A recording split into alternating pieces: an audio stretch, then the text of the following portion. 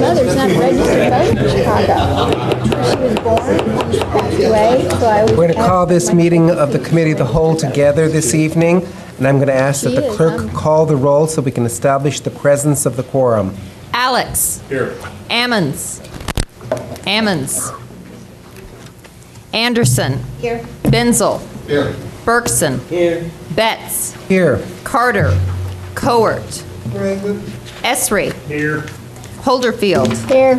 James. Jay. Here. Jones. Jones. Here. Here. Kurtz. Here. Langenheim. Here. McGinty. Here. Michaels. Here. Moser. Nudo. Nudo. Nudo. Hey. O'Connor. Here. Petrie. Here. Quisenberry. Here. Richards. Present. Rosales. Sapp. Schrader. Yes. Weibel. I do believe we have the presence of a quorum. Um, and The clerk will take note if anyone shows up that wasn't called on the roll. Um, I'd entertain a motion to approve the minutes of the Committee of the Whole for May 10th, 2011. So moved. Moved by Mr. James, seconded by Mr. Esri. Discussion. Additions or corrections? All those in favor signify by saying aye. Aye. Those opposed, the same. Motion carries. Chair would entertain a motion to approve the agenda and any addendum. Moved by Ms. Petrie, seconded by Ms. Cowart. Discussion. All those in favor signify by saying aye. Aye. Those opposed, the same. Motion carries. Any public participation this evening? Thank you. Seeing none, communications from members of the board. Mr. Kurtz. I just want to say a thank you to Ms. Kat Bork. Uh, She's going to be leaving us, and I want to tell you that in the three and a half years I've been here, she has been irreplaceable. She's wonderful and has done tremendous work for this board, and I'm sure we all feel the same way. But where she's going and what she's going to be doing is wonderful, too. Uh, I want to wish her the best of luck, and I know that one day we will see Cat Bork, Attorney at Law, Esquire, as one of our, uh, perhaps board members one of these days. Congratulations, Kat, and we wish you the best.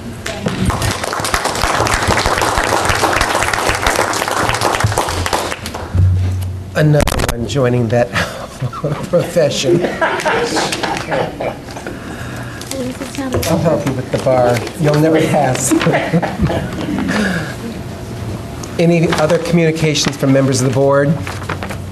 Seeing none, Ms. Cowart, if if you could uh, come up and address the committee regarding highway and transportation.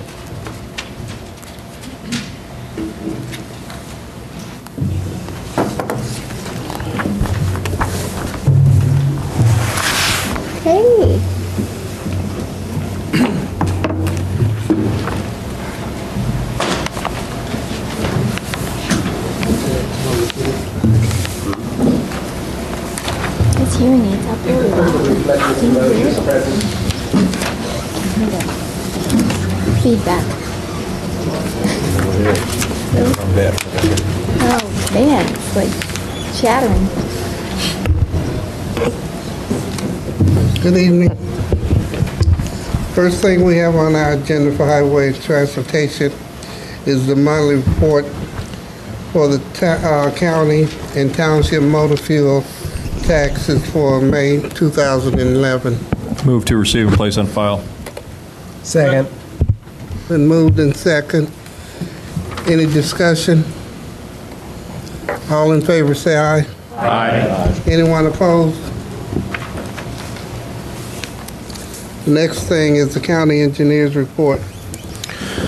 Uh, Just a couple of housekeeping items quickly. On resolutions one and two, um, the date of the letting was shown as as the wrong date. Um, We have uh, changed that and forwarded, I believe, copies of the new resolutions to CAT, but instead of April 20th, 2010, it should be May the 26th of 2011. Some cutting cutting and pasting errors there. Um, All of the uh, All of the bridge projects that are on here, which are items one, two, three, and seven, have come before you um, for bridge petitions as well as resolutions appropriating monies uh, for these projects. Um, I have passed out at each of your um, seats a copy of the bid tabs that show uh, the numerous bidders that we had on these projects. Um, And if there aren't any uh, big questions about any of these bridge projects, I've had a suggestion uh, from one of the board members that maybe we could do an omnibus motion for ones, two, three, and seven, and approve all the bridge projects in one motion. As as I was the suggester, I'll make that omnibus motion for 1, 2, 3, and 7 for approval, please. Second.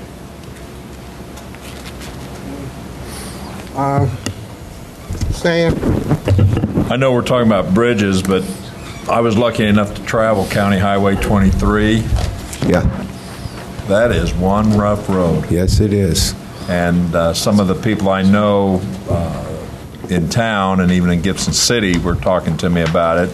Is there any plans in the future to do anything with that road?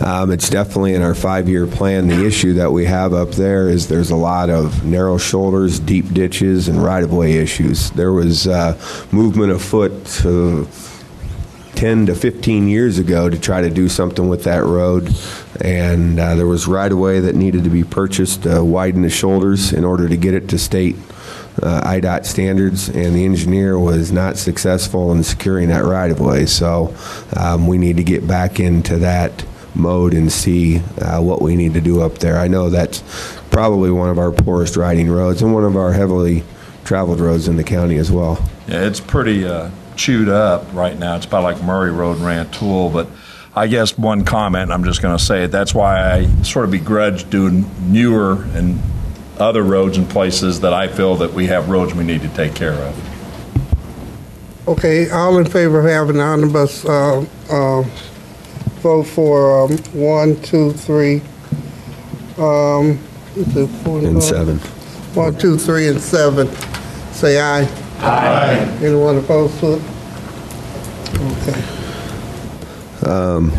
Similarly, items four and five, these are not uh, highway or county projects, these are actually township projects. They're grade crossing protection fund projects um, where uh, the Illinois Commerce Commission has suggested that uh, the grade crossings be upgraded with lights and signals, and it's up to the township to uh, do the roadwork approach on those projects.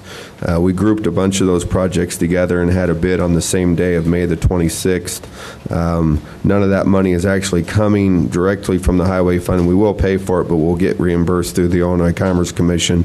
They are township projects, but I, uh, since they are multiple township projects and multiple townships, um, the ICC wanted somebody to make an award of a contract, so I'm bringing that before you uh, to award those contracts as well, and would like to take items four and five in one motion if we could.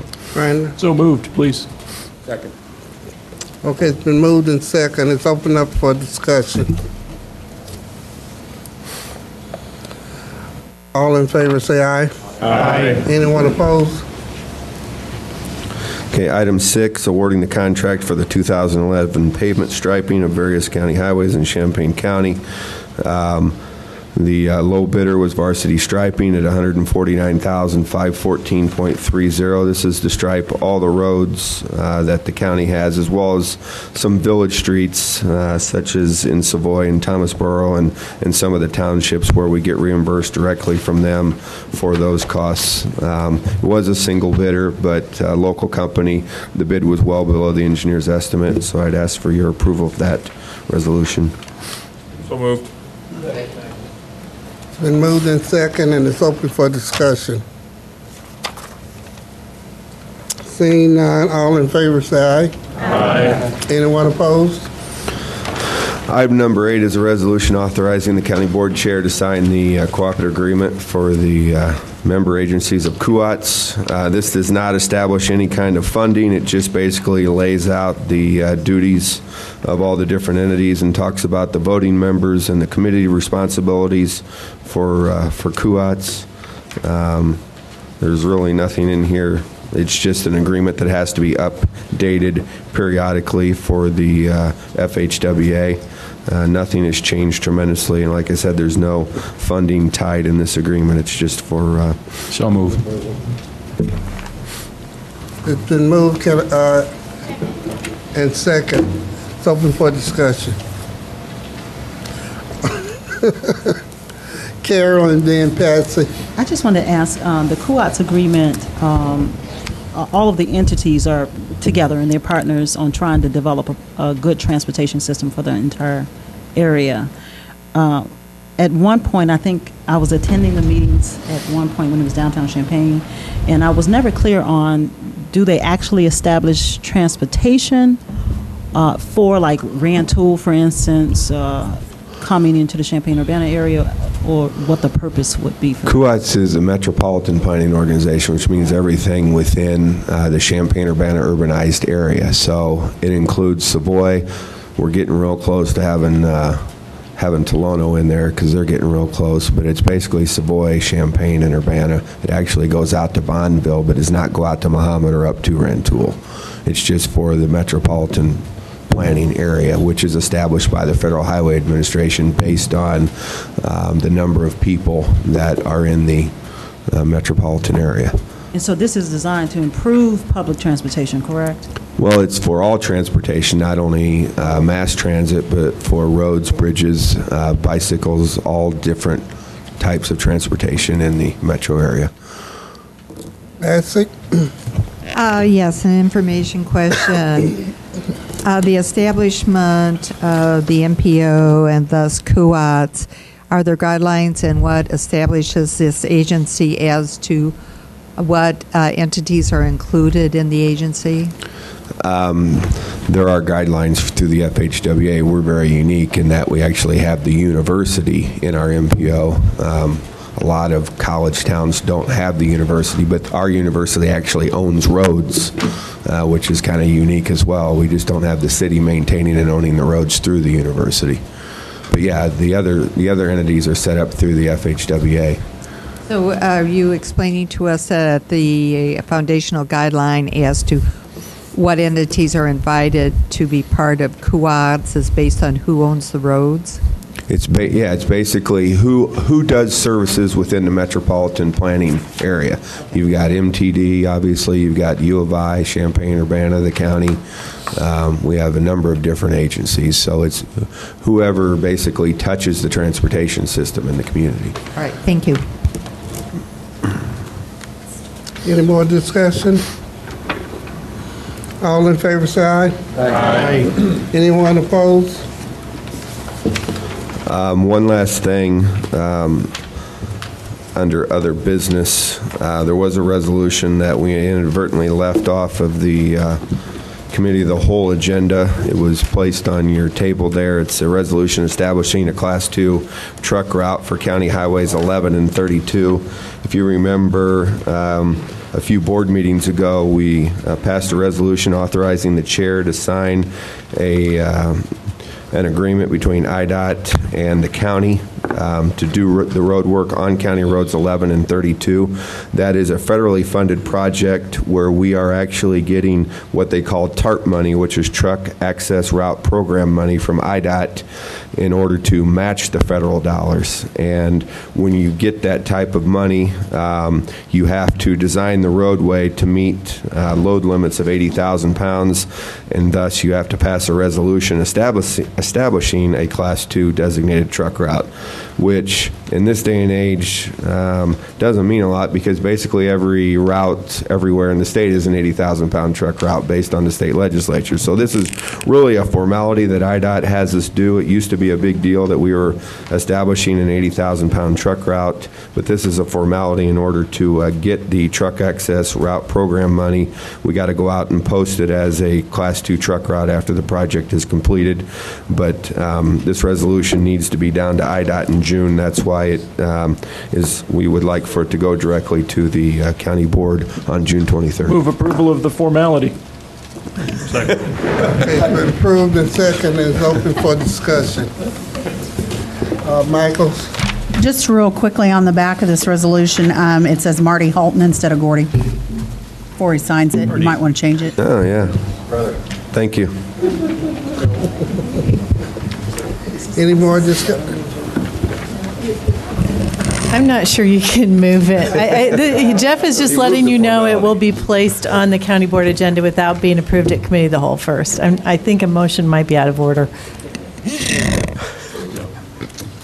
Okay. And that, that's all I have. Okay, then. Madam Chair. Yes. I think you should ask the mover and the seconder to withdraw the motion. so I withdraw the motion. clean. Withdrawn. Okay, accepted. Okay, there's nothing really to go on consent agenda because everything was approved. Everything goes on a consent agenda. I mean, go on the consent, I'm sorry. Regular agenda, yeah. Right. Okay. That's all. Okay, thank you. Thank you.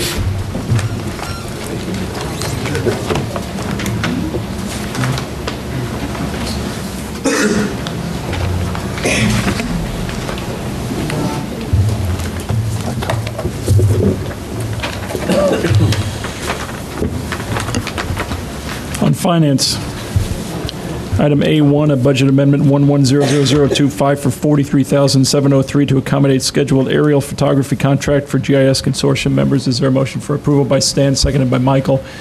Any discussion? Pattsi? I asked this during caucus meeting, and just as a, a general source of information, uh, would it be possible when we have items like this, they are revenue neutral, but some indication as to the source of the funding? Um, I believe you can see the source of the funding on the budget amendment itself. It is coming from the various entities who are member agencies of uh, GIS Consortium. They're each paying their fair contribution towards this aerial photography. Anything else? All in favor, say aye. Aye. Any opposed? That motion carries. Second item, an amendment 110026 for 281211 These are road improvements at railroad crossings at various locations. Is there a motion for approval by John? Second by Giraldo. Discussion. Seeing none, all those in favor say aye. Aye. Any opposed? That motion carries. The third item is an amendment 110022 for 500 bucks from the coroner. Reimbursement of funds from the sale of the corner 1995 van. Is there a motion for approval by Brad? Is there a second by Al? Discussion. All in favor, say aye. Aye. Any opposed? Motion carries for the Grateful Dead van. Fourth item is Amendment 110027 for $34,000 in appropriations. This is to create a line item to pay interest on building construction bonds. Is there a motion for approval? So moved. By Stephanie, seconded by Stan. Is there a discussion? Diane? I may be wrong, but would there not already be a, a line item in the budget for this? I don't understand why we're creating. Because you approved the budget the same month that you approved the issuance of these bonds, and we had no idea of knowing what the principal and interest payments would be. So it was not included in the 2011 budget. It will be in the 2012. 12, okay, thanks. Any other discussion on this item? All in favor, say aye. Aye. Any opposed? That motion carries. Next up, B1, uh, the Sheriff's Office, the Cops Hiring Program Request. Is there a motion for approval by Al? Is there a second? Second. By Jan. Discussion. Chris? I'd just like to express my thanks to the sheriff and his staff for uh, finding, uh, at least potentially finding other sources of funding for the county during these difficult times. I mean, if we can really get $440,000 to help uh, improve the staffing of the sheriff's department, that's uh, music to all of our ears, I think. Very good. Any questions for the sheriff? He's here tonight as well. Al? Alan? Little Al compared to Big Al? I have nothing. No, uh, I just had a question, Sheriff, about, um, this covers uh, salaries, benefits, This covers salaries and benefits for three years. equipment? Um, no, but we've, we've got You got equipment, it. we've got used cars. I mean, yeah, we You've can got cover the all that. equipment, Everything else, so. Correct. Other questions? Thank you. Uh, Questions, Pattsi, then Carol. Uh, well, okay, after the three years, uh, where's the funding going to come from? That, to some extent, is, is quite frankly unknown. The sixth year, my guess is, with benefits and salary, those two deputies combined will be about $160,000. Now, right now, we have a $10 million budget. Can I fudge a little here and there? I don't know. A lot depends on gas prices and, and the number of prisoners I house at that time, uh, or the next sheriff, whoever has it. But, I mean, there is no guaranteed source of funding uh, other than, and I will say this, when the budget cuts came along and the economy went sour, um, first off, there was a federal grant, but at the time, Ms. Busey and I talked, and we had to be certain we were going to let people go. And at that point, when we had to apply for the grant, we couldn't say for sure. Well, it happened after that, so we missed the first grant. What we've done, because we had we've lost a couple road deputies because of the budget. We also lost a couple for other reasons, you know, normal attrition, and we've kind of delayed filling some of that. What I did was take our street crimes unit. Uh, that's a group of three deputies and one sergeant. They primarily work drugs, but they also do a lot of directed patrol. Like, for example, if I have, uh, let's say, a burglary problem in Scottswood, I can pull them, change their shift, and they could work Scottswood for a week in a row, walking, basically walking a beat or whatever we want. They're a very useful move around tool. When they are working the primary drug enforcement, because of the nature of drugs, besides confiscating drugs and guns, uh, they also inherently confiscate cash and other assets. Uh, just to give you an idea, when that unit was up and running, uh, on an average, on a yearly average, we confiscated about 23,000, I'm sorry, drug dealers donated to the county about $23,000, and they gave us about $27,000 in other assets out of the goodness of their heart per year. I cannot, I'll be honest, I cannot use that money for salaries, but I can use it to defer other costs and then shift. But, but, but no, I can't cover, and I don't know exactly where we'll get 160,000. That's four years down the road. Hopefully, the economy will improve. Carol, passing. Anything else? Thank you. Thanks, Sheriff. All in favor, say aye. Aye. Any opposed? Motion carries. Out of the County Clerk's Office, an ordinance establishing statutory fees for marriage and civil union licenses. Is there a motion for approval by Lorraine? Is there a second? By Al. Discussion. All in favor, say aye. Aye. Any opposed? Motion carries. D, um, I've, Cam is here tonight, and he and I have talked ahead of time. Uh, The, my suggestion is that he overview these five related items, and if it's agreeable to you, you might be interested in uh, passing them in an omnibus fashion. But Cam, if you could, come on up, and before we make motions, we'll have him overview these five items together. Quick question, Brendan. Stan? Do I have to abstain since I'm on the CRIS Advisory Board? No. If I get in trouble, I'll repeat that. We're guessing no. Thank you. Cam, please. Okay, great, thank you. Um, These uh, five items that are on here are all related to uh, the rural transit, provision of rural transit with CRIS Rural Transit Services. Um, You know, you previously uh, actually made these decisions uh, several months ago, and let me just start with the budget amendments because they're fairly simple. Um, The county will be receiving both state and federal funds um, and then passing those monies through to support rural transit through CRIS. So these budget amendments are just to recognize the receipt uh, of those particular funds. And, you know, we always have to have two budget amendments because one's for odd years one's for even years. Uh, Right now, we expect that to be about $588,000 a year between the state and federal dollars. Obviously, that could go up or down depending on state and federal budget decisions. Um, The first three items on here, you previously passed an ordinance, uh, intergovernmental agreement um, regarding the rural transit. At the time that was passed, it wasn't clear, at least to us, um, that RPC would actually be administering um, this on behalf of the county. So these are really just updates uh, of some previous documents that you passed.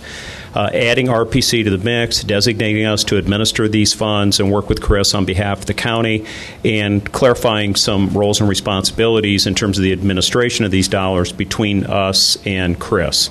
Um, you know, with that, I mean, I could certainly go into more detail if anybody has any questions. Um, be happy to answer them. Questions for Cam?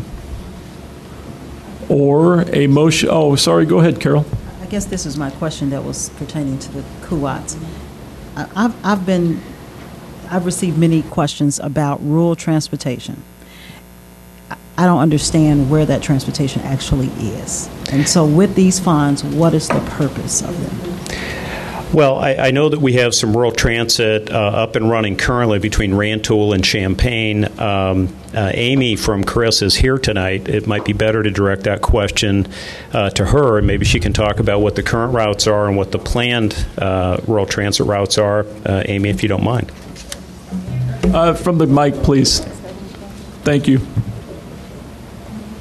And please tell us who you are. Good evening. I'm Amy Marchand. I'm the CEO of CRIS Rural Mass Transit. And the there was an advisory form, an advisory group formed. It took two years to design the service. It accumulated people from all over the Champaign County area, from social services to um, constituents, just a, a, a significant mix of people to study the population, to do surveys. We conducted nearly 900 surveys in the community to determine that the poverty in the northern county area, specifically in the Ludlow area, Rantoul area, and Thomasboro, would be the primary target for transportation. And to be especially specific, the area is the Rantoul High School Township area because we had to create a boundary. And so that's the specific boundary that we're focused on. It's intended that that boundary will grow, but you have to start somewhere, and so that's the focus. Go ahead, please, Carol. Do you provide actual public transportation? Uh, My understanding is that people have to still pay uh, a lot more than we Uh, the, the fare for transit is $5 each way, and that is designed by the advisory committee and actually um, was discussed in detail at the last advisory committee, and it was determined to continue with that level of funding at this time. And um, Stan might be able to speak more to that, but that's specifically where we are at this point for fares. We, we try to keep Stan from speaking to too much here. I'm sorry. uh, If you don't mind. Carol, Okay. any, what else? I- I just Anything want- else? just one more, All right. if you would indulge me. Finish it up. Just the last one is, then the revenue that is here being appropriated is to do what? is to specifically pay for the operating cost for to, provi- to provide rural transit in that area. So the cost is for the, um, we have funding for equipment. We're actually borrowing vehicles from Vermilion County to provide the service. So the equipment is currently being used at that point and the rest of it is for the actual day-to-day operating expenses. Uh, needless to say, fuel is very significant. All of the insurances, coverages, liability, drivers, those sort of things. Uh, James first, then Alan, then Stan. Well, to follow up a little bit, I know that the word is getting out, and we've been talking about it. It's been slow moving when you're dealing with a rural area, it- not in such a concentrated area. Plus, we decided on the fee based on that if you took a cab, what it would cost.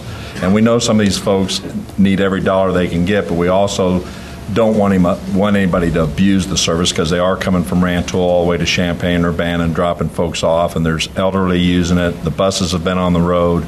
I tried to get them to buy the $500 van, but they just didn't see a need for it. Anything else?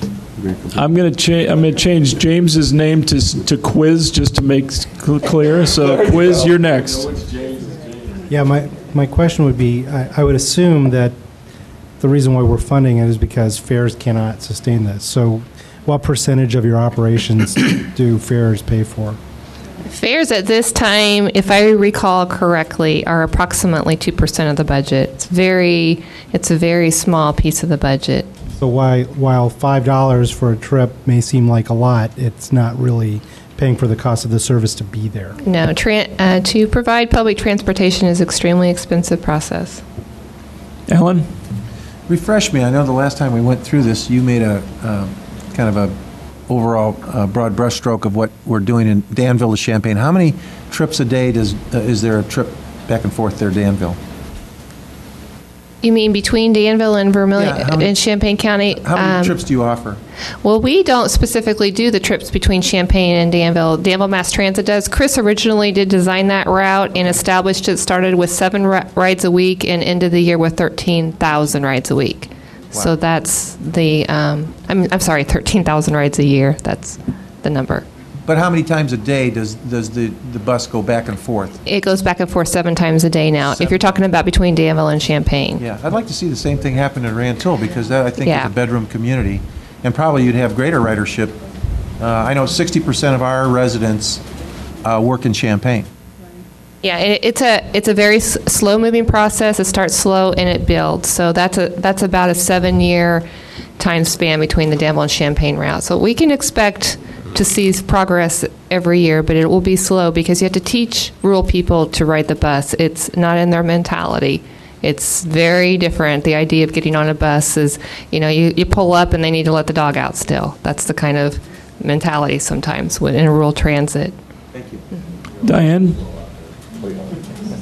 I just, I, for some reason, I had something in the back of my mind that um, there was some difficulty with um, meeting budgets and those type of things. I don't know if it's been a little bit or something. I thought I heard something about that. And that's why this is your grant money, this is for one year, and you have to apply every year. Is that kind of what it is? And if it doesn't come, then we renew. we're off the map again? No, well, we renew. We've been doing it for a quarter of a century in Vermilion County, and it, it renews. Steve O. Thanks, Brenda. I just needed a brief review of the figures. The rider fee covers 2% of the cost. Approximately. So that means for five bucks, we're spending 250. Is that correct? Does that sound right? Into the mic, if you could, please. Thank you. Well, I, I don't have a calculator, but you're probably guessing right. It is it is expensive venture to get off the ground, and over over the years, it does it does in turn cr- create a very stable environment for folks that aren't stable because once transportation is available to them, they become extremely self-sufficient, and that's the goal. We might all agree, though, that $5 is 2% of 250 bucks. So if somebody's making a round trip from here to Rantoul, it's costing us $500 a day. There's usually 10 people on there. They split it. Other questions? Pattsi? Um, Just a clarification on uh, this figure we see for the even and the odd years, that's just per year. Thank you. Yes, and I, I would say that we will not draw down that much funding the first several years because we need to match the dollars and the service has to build.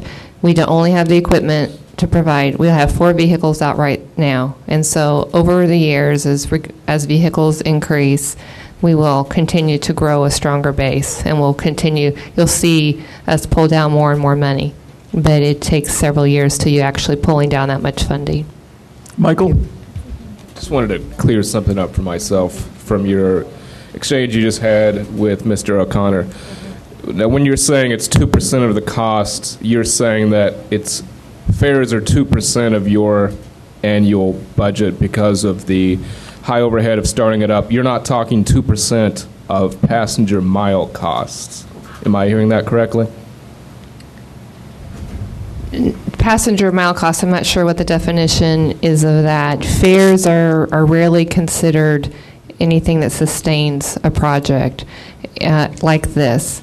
But it, but the goal is to teach people so to pay for you're not saying that it's that the five dollars is two percent of the cost uh, of the actual trip. For instance, uh, the for the federal highway budget, the pass, uh, user fees from gas taxes are 41 cents of the passenger mile on the dollar of the passenger mile cost. You're saying two out of 100, but you're not saying two out of 100. So you're not saying it's 250 dollars per person to go back and forth per trip, right?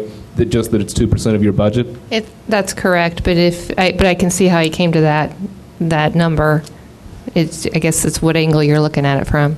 overall cost for the entire budget, I, I could see where he came to that $250 figure. No, it's, it's 2% is 2%, but I just wanted to make sure we're not losing $245 a trip. No, trip. sir. No, sir, we're not. Okay.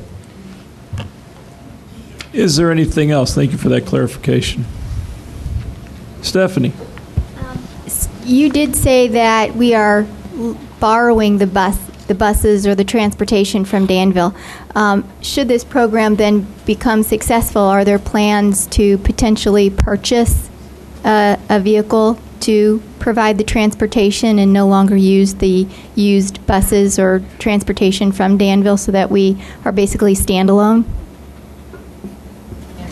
Yeah, we, um, we have on order s- for vehicles, and we hope that, it, it takes about two years to get those vehicles. It, it's typical that a neighboring county would provide this service that's already established, and, and so some protocols are in place, and the protocol that we will be following is that we're really borrowing mileage from Vermilion County vehicles, so that mileage will be returned to Vermilion County in the future.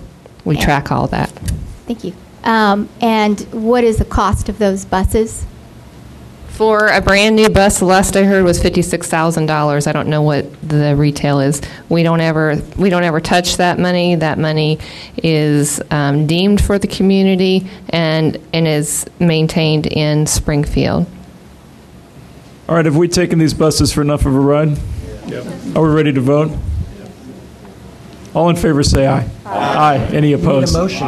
Oh. I'm- I'm sorry, I move I'm sorry, that's a great point, sorry. I move an omnibus motion of Thank items you, one hold on, five. Tom's got it. Tom, I move an omnibus motion of items one through five. my apologies. Is there a second by quiz? Any other discussion? Carol? I thought when we started this that we would, um, okay, so let me just clarify something right quick. I'm interested in item number four. I don't think I'm totally clear on item number four and am not prepared to vote yes, although I support the rural transportation and want to see something um, expanded there. It's four and five, so I, I have some concerns about it that I don't believe time is going to allow me to address all of them right now, and I think it would be unfair to the county board. Um, and so I would, if I vote no on the omnibus, it votes no on all of them and makes them all go back to the county board agenda. Is that correct? Yep. All right. Um, Parliamentarian procedure, Mr. Betz, I'd like to I- I'll ask. just go ahead and suggest, let's, let's move one through three omnibus. wanna do that. Do you find that fri- friendly, Tom? Withdraw my motion. He's withdrawing his And then- motion. And and- and have the seconder withdraw. Seconder withdraw, quiz does, Now new I move motion. items one through three. One through three omnibus quiz seconds. Discussion on those. All in favor, say aye. Aye. Any opposed? Aye. Motion carries. Next up is four and five. It was all going to hit consent anyway. Four and five, uh, is there a motion to move those together? So moved. Uh, By Stan, seconded by Giraldo. Any discussion on those? All in favor, say, uh, Carol?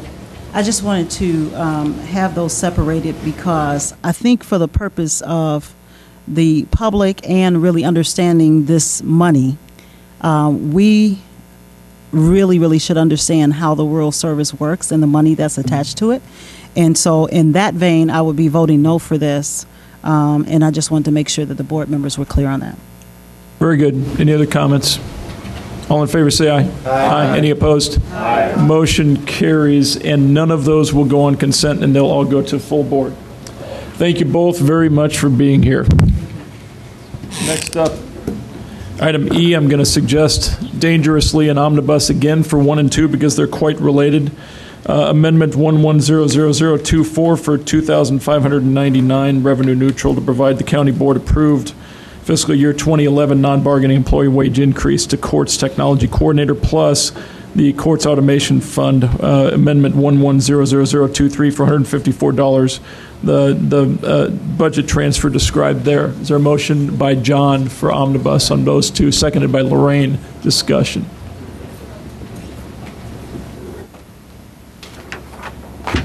Seeing none all those in favor say aye. Aye, any opposed? Mo- Motion carries. Neither of those will appear on consent either. And next up is Deb. The general corporate fund uh, projection report is in your packet on pages 72 through 74. Our revenue continues to remain stable, and um, that's good news. We look uh, like we will receive about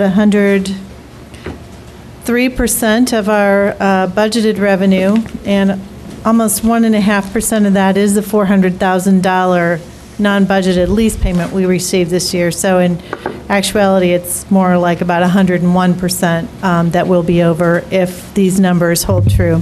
But the sales taxes have continued to be um, positive, and that's really good to see after the last two and a half years. Um, The expenditure similarly looks like it's going to come in right at 100% of the budget. Um, and typically, uh, as we go through the year, it gets tighter, and I would imagine we will spend close to 100% of our expenditure budget this year.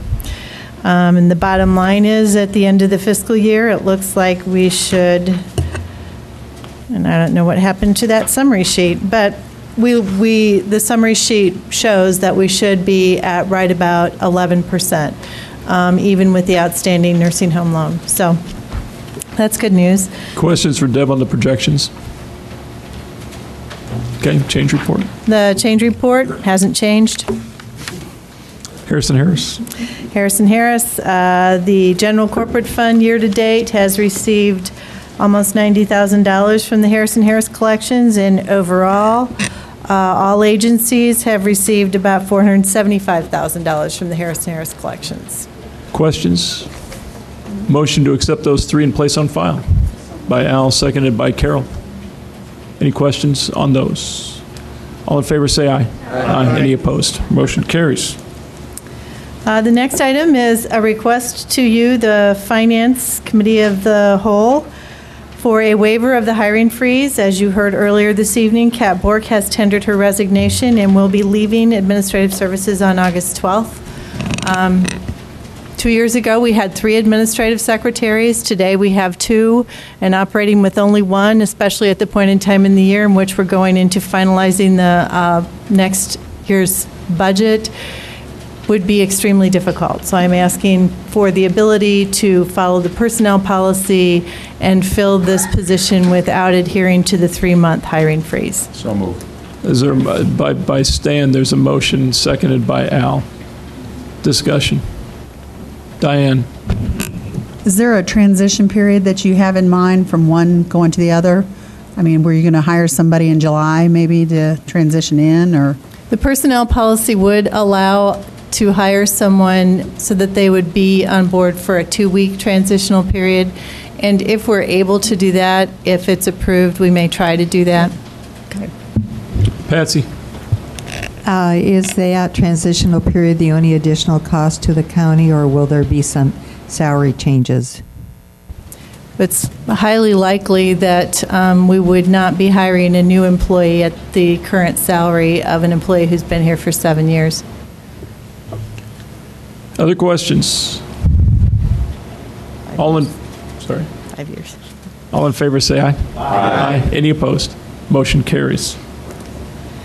Next item are the uh, Champaign County financial policies. Um, In the past four years, I think, we, you have always adopted the financial policies with the annual budget process resolution, and it seems redundant to do that every year. So um, they're presented to you now, just like the personnel policy or the purchasing policy, as a policy that you would adopt and that would stand on the record. We would post it on the website. There are no significant changes to these policies other than they have been grouped by categories. So the first several policies are the operating budget policies, followed by the revenue policies, and then debt management, accounting policies, and then some miscellaneous ones. I would just ask for your approval. Motion to approve? So moved. By Stan, seconded by Stephanie. Discussion. All in favor, say aye. Aye. Aye. Any opposed?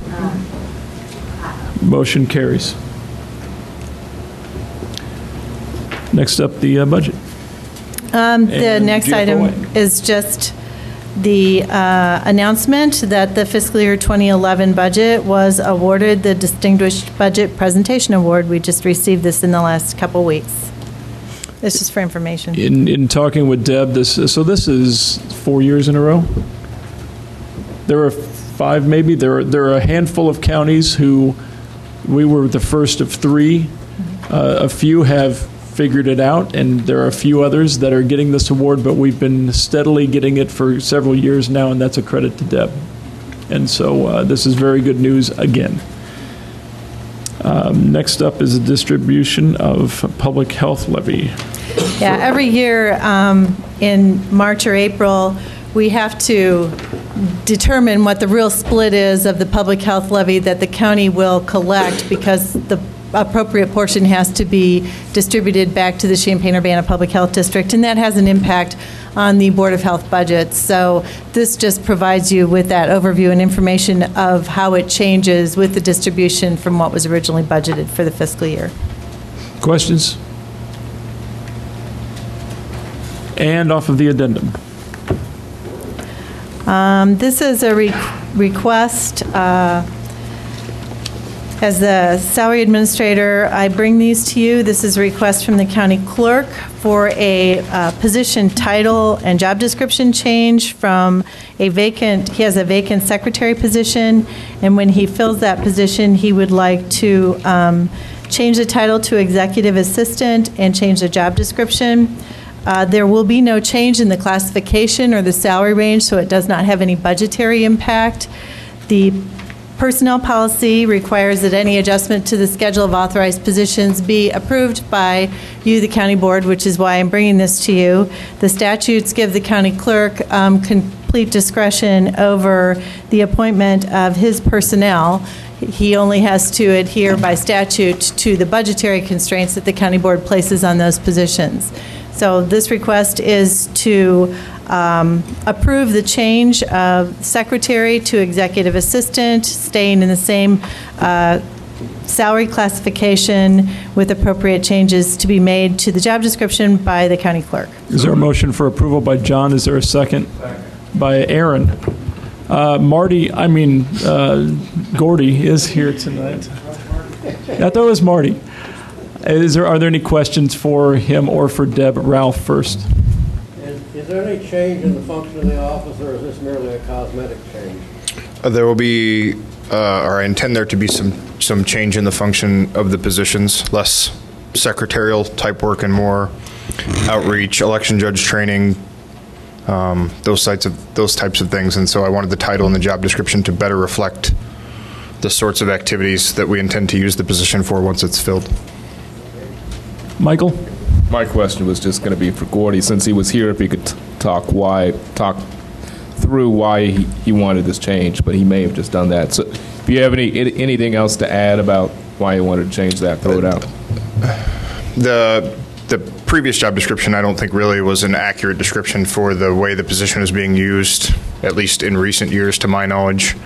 And it's not uh, an accurate description for the sort of role that I'd like to see the position play in the future. So after discussions with Deb, we wanted to update the job description to make it more relevant, and uh, a title change at that time seemed relevant. We've also, the position became vacant April 29th, and, and while there's no requirement for, for my office to follow the hiring freeze, we've, we've followed the hiring freeze for this position and won't fill the position f- until it's been vacant for 90 days.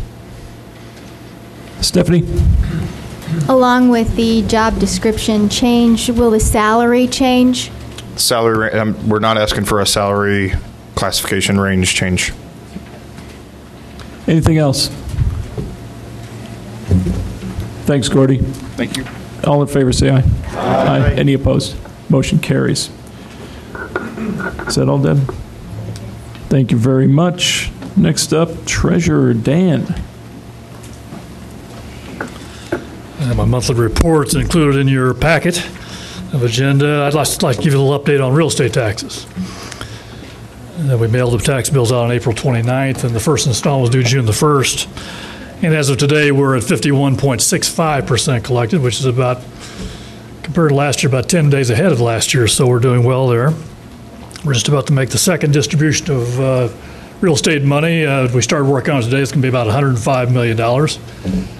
And you might wonder, what's $105 million mean to the county? Well, the county levies uh, are going to get about 10 million of that.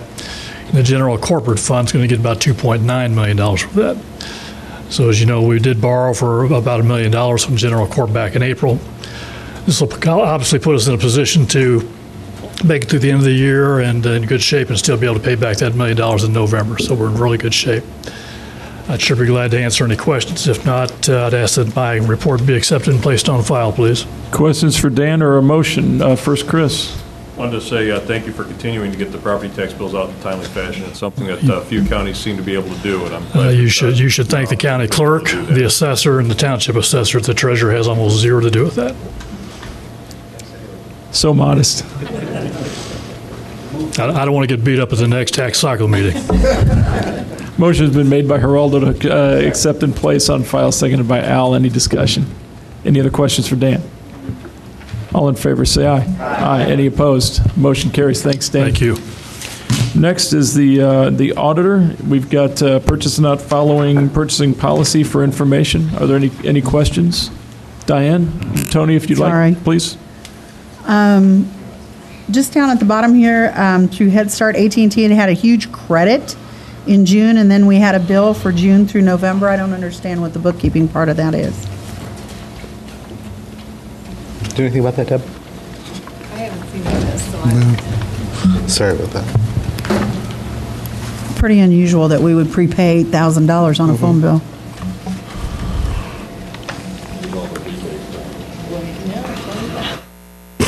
Yeah. Um, you know, I don't know the answer to that, but I can look into it and get back to you before the board meeting. That'd be great, because then the next item under that means that we haven't paid the bill since June of '08 to November of '10, the way you have it noted here. You know, that looks more like one big bill for a bunch of service, and given the subtraction and addition, I'm guessing there was some wrangling over the phone bill. Um, that's just a guess, years? though, but For three years, you think? Possibly, yeah. But I really, I let me check into it and Okay. give you a definite answer before the meeting. All right, thanks. Anything else? And then monthly report, anything to report there, Tony, that wa- that wasn't in the packet? That's just uh, for uh, placing on file. Any motion to do so, please? By Carol, is there a second? Anybody? Second. Jan? Any questions for Tony? All in favor, say aye. Aye. Any opposed? Motion, motion carries. Thank you. Thank you. Is there any other business for finance? There is no chair's report. The items for consent are A1 through 4, B1, C1, F4, and F8. Thank you very much. Policy is next, but I've asked uh, Mr. Quisenberry to take uh, policy because I was out for that particular meeting.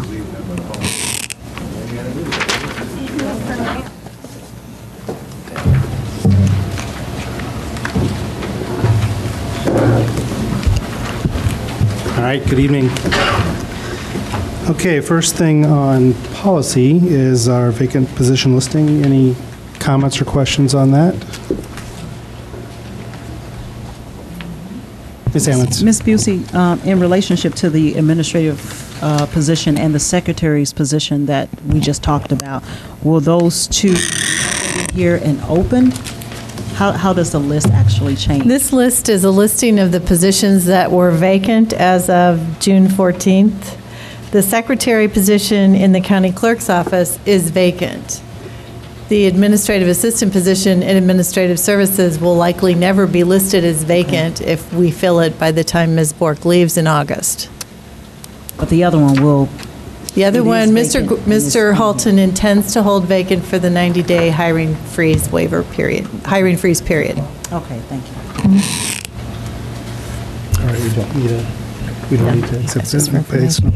Go, uh, okay, um, item number two, under section A, is an ordinance of County Champaign, Illinois, um, Champaign County, um, Illinois is ascertaining the prevailing wa- rate of wages for laborers, mechanics, and other workers employed in public works of said county. Move adoption. Second. Second. Mr. Betz moved, Mr. Kurtz seconded. Uh, Any discussion or questions? Ms. Busey, would you like to? Well, for those board that. members who are new, this is something that you do every June. It's required. The state uh, posts the prevailing wage rates for Champaign County in the first of June, and you adopt the ordinance setting those rates at your June board meeting. All right, any questions? Ms. Petrie? Um, An information question, how does the state get this data? What do they use to do this? Well, that's a good question for the state. I don't know the answer to that. Okay, any further questions? I can somewhat answer that. Mr. Betz? It's usually based on the highest paid union laborers in those fields. That tends to be the way it's done.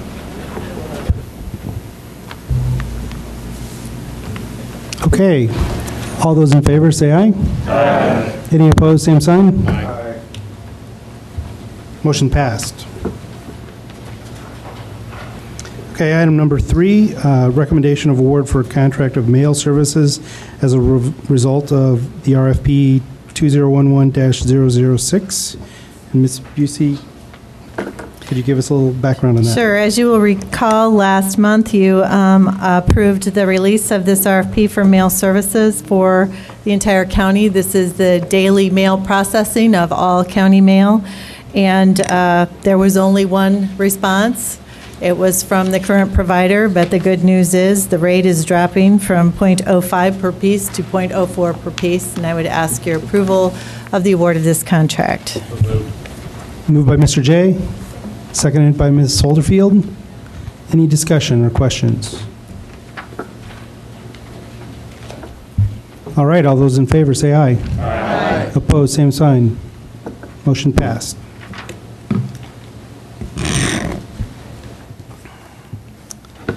Okay, we have, uh, in section B, we have reports from the county clerk, uh, monthly fees report, and the uh, semi-annual re- fees report.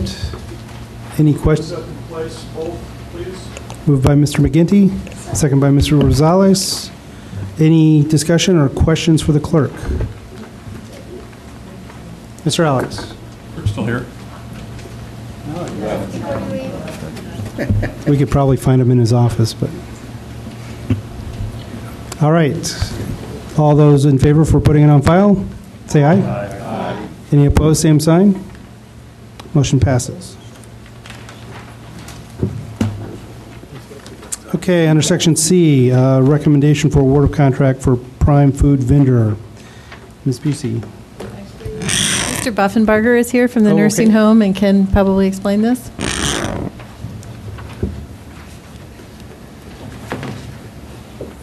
Hello, this was a RFP for uh, all of the food purchases that we make for residents of the nursing home, as well as some related items, some minor cooking equipment, aluminum foil, saran wrap, and some of the basics that keep our kitchen going. Um, The last contract uh, was in 2007, and so we're anticipating that contract to expire in October of this year. So this RFP is in uh, anticipation of that. Uh, We had uh, We had two respondents. One was a qualified bidder, and it's actually our current provider. Uh, And the rates that they came in with were very good. They were very competitive, and we know that because uh, it's better than what we're getting now. And uh, the second respondent submitted a uh, a a bid sheet, a spreadsheet showing the cost of their food items, and we were able to compare the two, and they were very close. So we're comfortable that uh, the highest bidder and only bidder, Waugh Food, or the lowest bidder and the only bidder, Waugh Foods, uh, is a uh, responsible bidder, and we'd like to um, contract with them.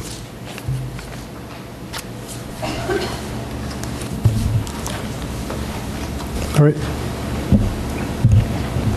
Um, Ms. Richards.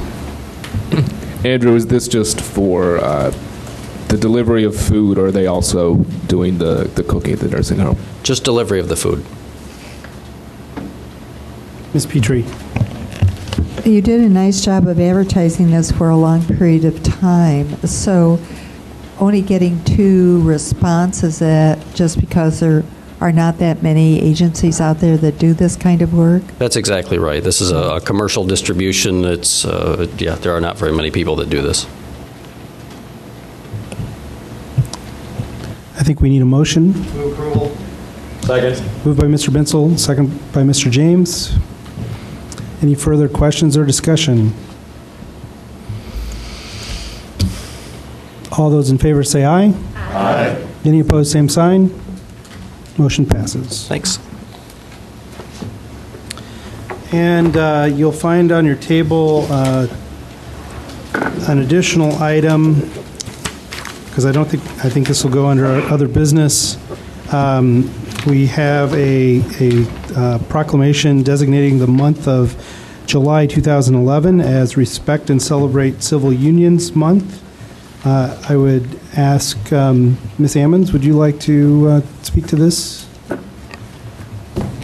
Yes, I can read the resolution. Um, The city of Champaign and Urbana um, had already passed their resolutions for civil unions that was passed at the state level uh, last month. And so this was submitted for us to pass our civil unions um, celebration in support of this, and I'll read the resolution for the committee.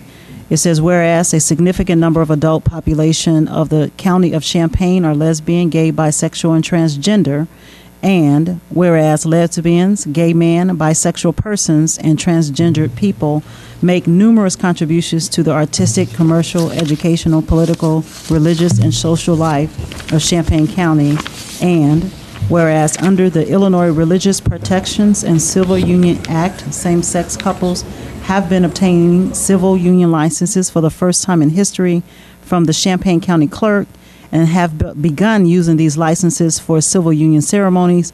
And whereas these civil unions are the legal equivalent, equivalent of marriages under Illinois law with all the same state rights and responsibilities. And whereas Champaign County Clerk Gordy Hulten, his staff, the Up Center of Champaign County, the NBF and M law firm, and others celebrated the first 13 same-sex couples to receive such licenses with a joyous party in the Lyle Shields Meeting Room on the morning of June 1st, 2011.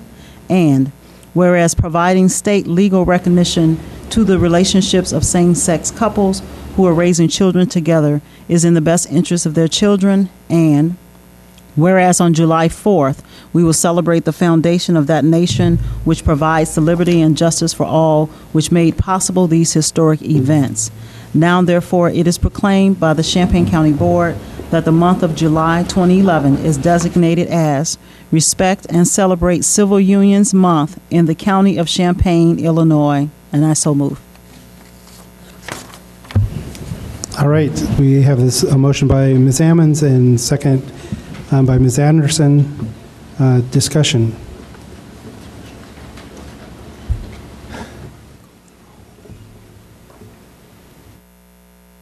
No discussion? All those in favor say aye. Aye. Any opposed, same sign? Aye. Motion passes. That would be all from, and you can designate. Uh, Yep, uh, I believe that's all for policy. Um, I have that the um, items on consent would be the, the mail contract, RFP, and the nursing home contract RFP. And everything else will go to the full board. Thank you. Thank you. Quiz, that's quiz, I'm James. Stanley. Quiz and Barry, that's a new stand. Put the pen out, and that's how Stan. Don't worry.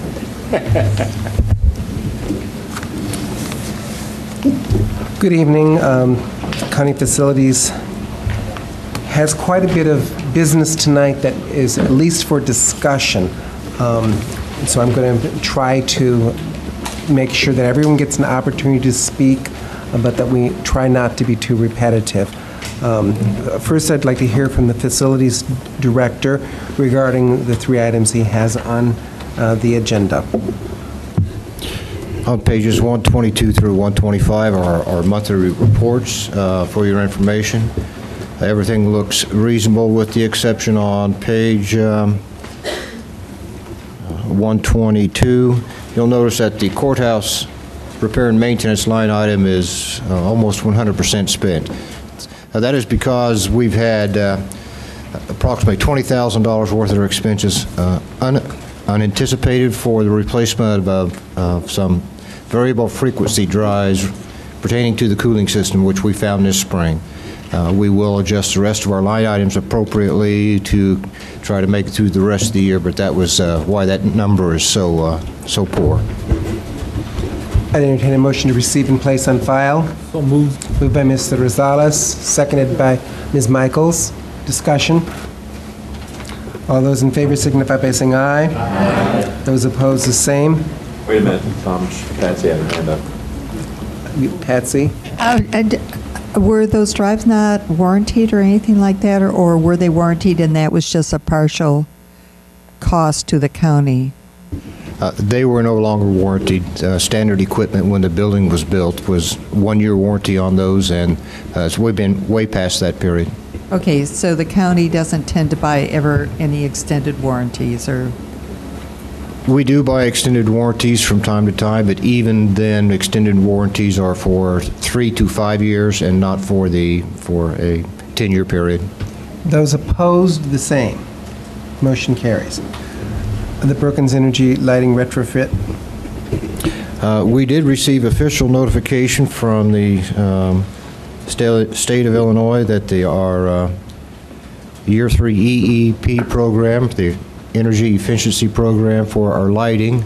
If you remember, we we were approved two, one from the, for the Energy Efficiency Program, uh, and then another community block grant administered through the Regional Com- Planning Commission. So this is the first grant. We did refe- uh, receive official notification. We have not received a dime yet, but we expect to have some, uh, some uh, dollars coming in here pretty soon.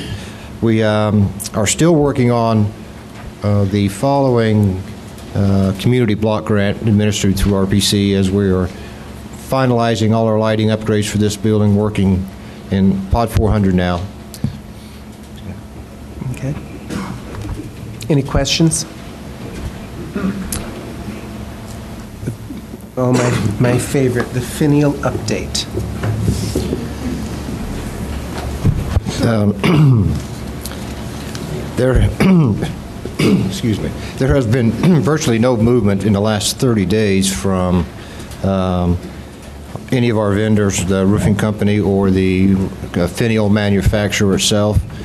So um, as of, uh, on 6/10 uh, of this month, of course, on the 10th of this month, I received a copy of email notice from uh, our insurance representative that they have uh, sent off letters of subrogation to the Advanced Roofing Company and Coppercraft manufacturer, and I am now currently and actively looking for another copper finial manufacturer to see if we can have another one uh, built for its replacement. If, if we have one built for its replacement, how's that going to affect the payment um, with, with regard to? Well, I- I don't know at this point in time. I'm just uh, trying to get a a good, solid footing now with our insurance uh, representative. Typically, on any other project, as it was uh, over a year ago, if you remember the truck that burned up in the highway building, we lost a truck, and we spent months cleaning and repainting, and uh, all billings and reimbursements at that time went directly to the insurance company. It did not cost us anything other than our deductible, if I remember correctly. So I'm assuming that this will be what we are going to attempt to do again. Questions from members of the board? Mr. Jay. What what would our deductible be on this, do you know? $5,000. With an estimated cost to repair this? Well, the original estimated cost, based on the original construction price, was approximately $20,000. Okay. Other questions members?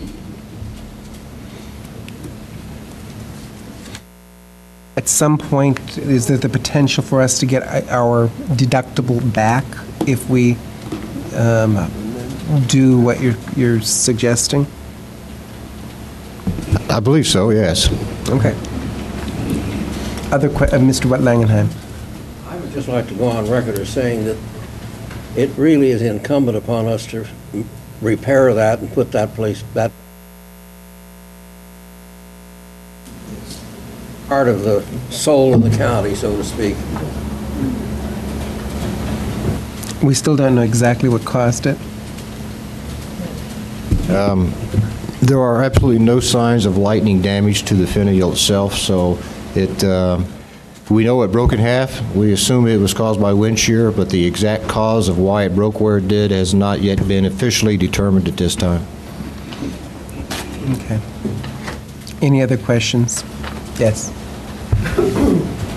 So if I followed this conversation correctly, the people that we bought that from are not going to be able to replace it, and therefore you have to find somebody else to replace it, and then we pay the insurance deductible? There wasn't a guarantee after a certain length of time? Well, yes, you are correct. It was this, a roofing manufac, a roofing ins- installer, Advanced Roofing and sheet, and sheet metal, installed the finial. They purchased it from a distributor who had it manufactured by another company. Uh, The roofing company has been really actively trying to work with us, trying to get them to repair it. But uh, we're, they're not getting anywhere, and we're not getting anywhere. So we think right now it's our best interest to um, start looking at our insurance company so we don't sit around and wait the entire summer to get this back up on the roof. No further questions? Okay, if you can update us on the Art Bartel construction project.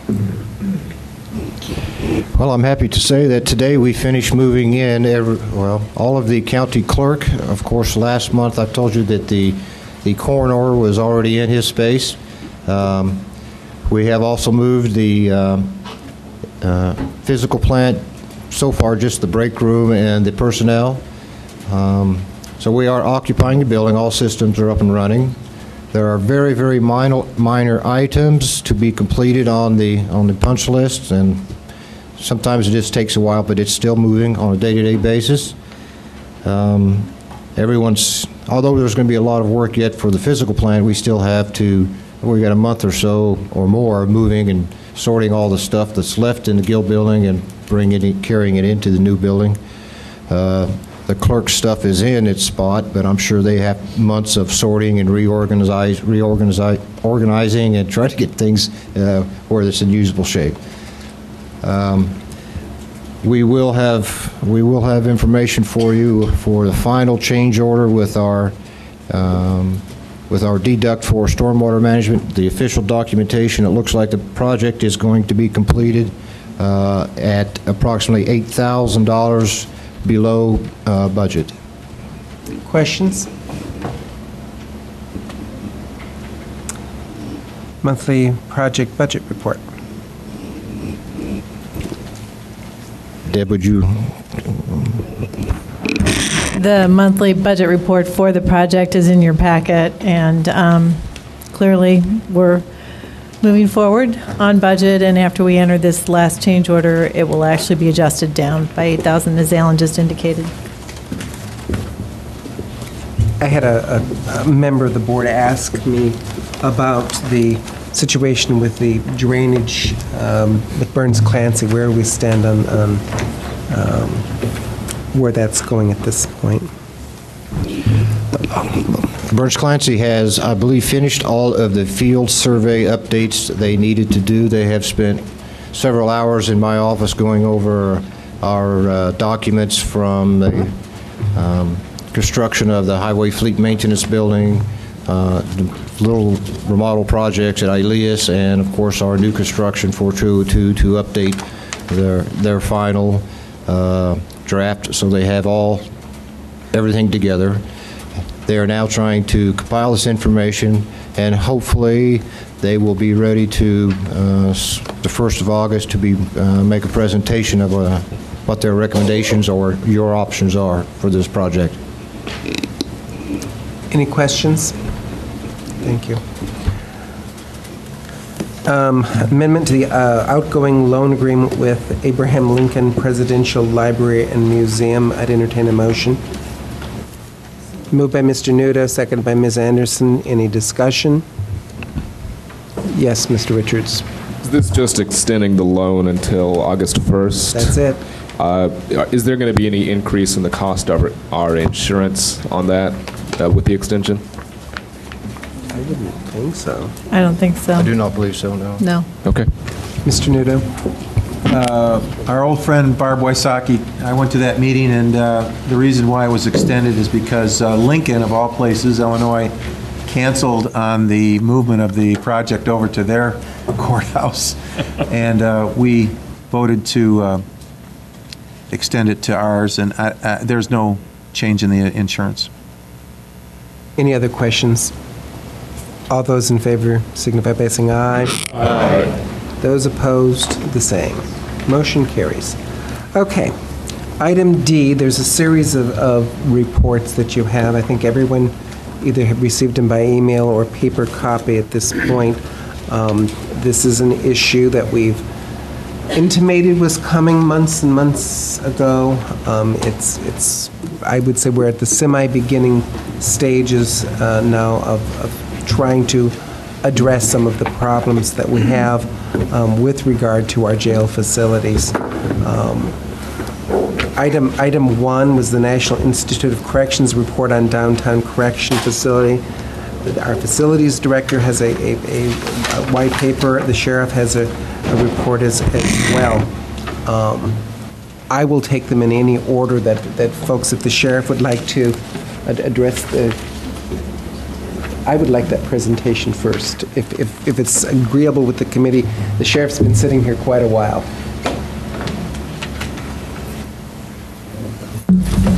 Um, I- I- We've got a couple people here. Uh, I think the first thing I'd like to do is, this this is Lieutenant Cravens. Uh, He's the administrative lieutenant of the jail. Uh, First off, uh, Superintendent Moore could not be here. Uh, He sends his regrets. Unfortunately, his mom passed away out of state, Um, so uh, he cannot be here tonight.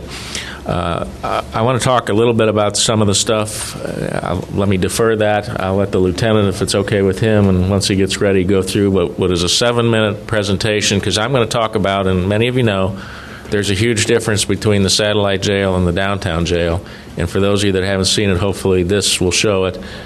Uh, Then we also have Nancy Griffin, but I'll come back up in between, and uh, when we're all done, we'll try to answer whatever questions you guys have. Lieutenant? Okay, this should give you just an overview of both facilities, um, housing areas, and and the condition of both.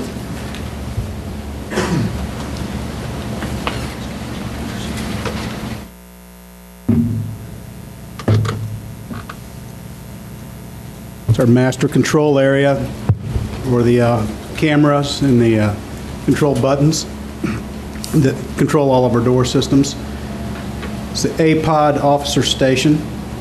That's where the officers sit and conduct most of their work. That's the view of the housing areas from the officer.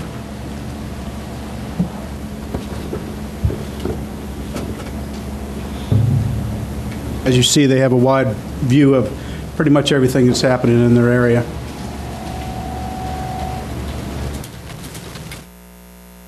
Outdoor recreation, they can play basketball, walk, um, just get some fresh air out there. Be a typical housing unit at the jail. Really, the only different ones we would have would be uh, handicap cells.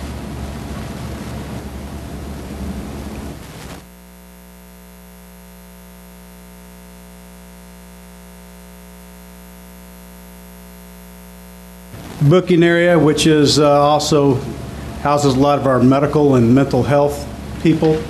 Um, Takes up the majority of our space up there. Uh, Mental health and uh, medical individuals are housed throughout both jails, not um, consolidated in any one area, which makes it difficult to manage.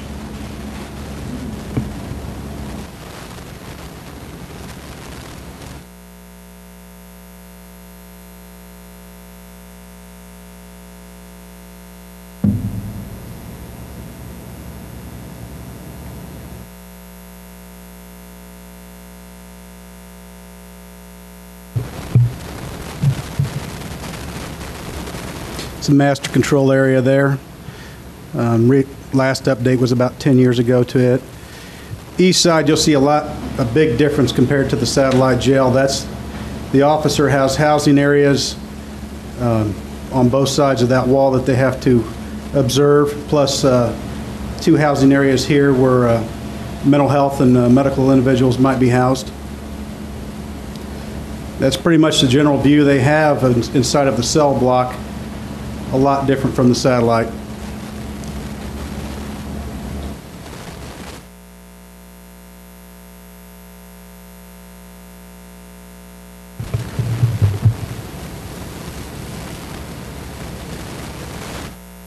You see, they can see maybe 50%, and when it's filled with inmates, you know, you're obstructed even more. It's pretty much the door at night when they do their cell checks. That's the typical window they have to look into um, to check on the inmates at night. That's a lot different from the satellite also. That's about the most natural light they get from the outside while they're in their rooms. That's the conditions of the ventilation. In the uh, up top, you'll see that's the day room where they stay during the day. That's the most sunlight they get. This area here separates the main part of the jail from the dorm. Uh, They're completely isolated from the rest of the jail. Makes that very difficult to manage. Old booking, which also uh, houses some of our individuals with medical and mental health needs.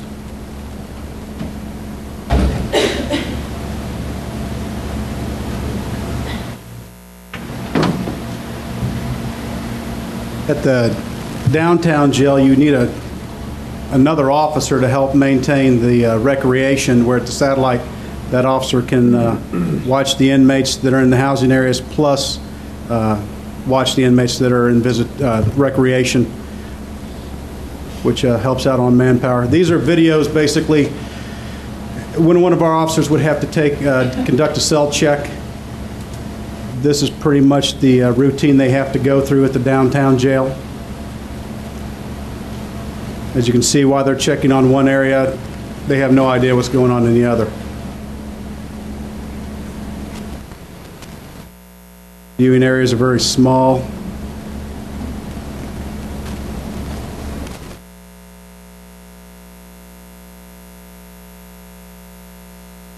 These two blocks right here are now special management housing areas. Some of them are medical or mental health individuals.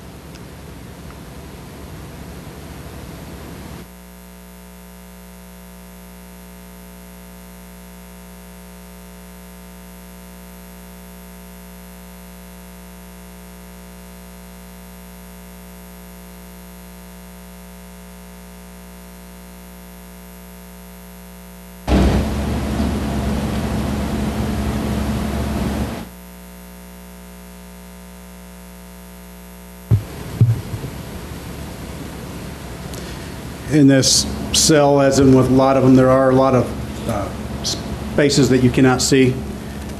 Um, Typically, you'll have to open up the door to get a good view of what's going on in the room if the inmate's not in plain sight.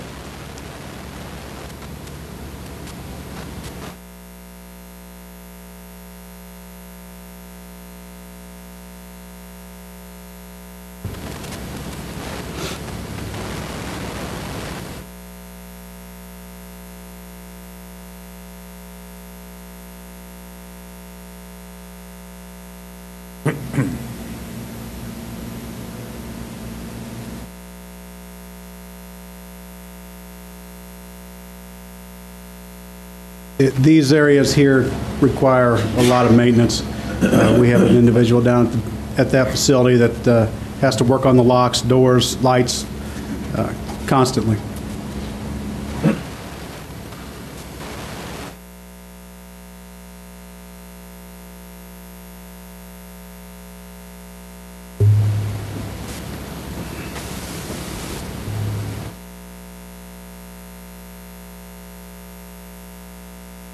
Like, like I said, if he's at this window, he's, he's got five other windows that he has no idea what's going on. And even when he steps back into uh, the open space, his view is even smaller at that point. Uh, With the glass and the uh, cinder block, it's, it can be difficult to hear what's going on in the areas also. This is a satellite jail. This uh, officer is at the satellite desk, and from that position, he can see almost everything in the cell block. There's the outdoor recreation area that he can monitor um, without the requirement of additional staff.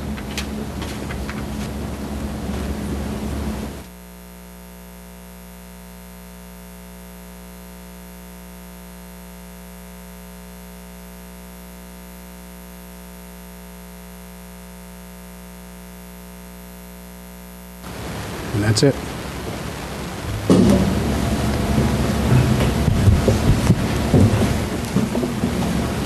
Um, The officer you just saw walking through there, we are required under Illinois jail standards to do cell checks at least every half hour. Many of our prisoners, because of special needs, it's, it's every 15 minutes. Uh, I'm going to talk about some of the stuff. We have given you the NIC report. We asked them to come in. Uh, Alan has done an excellent job of outlining some of the issues with the building. Uh, I'm assuming you're going to read the report I've given you. Uh, NIC, there's a lot of stuff in there I don't frankly agree with. I don't think it's right. I think some of the stuff perhaps got unloaded, let's say, from somebody else's report because they even refer to, for example, county commissioners. We don't have commissioners. But most of it really doesn't matter.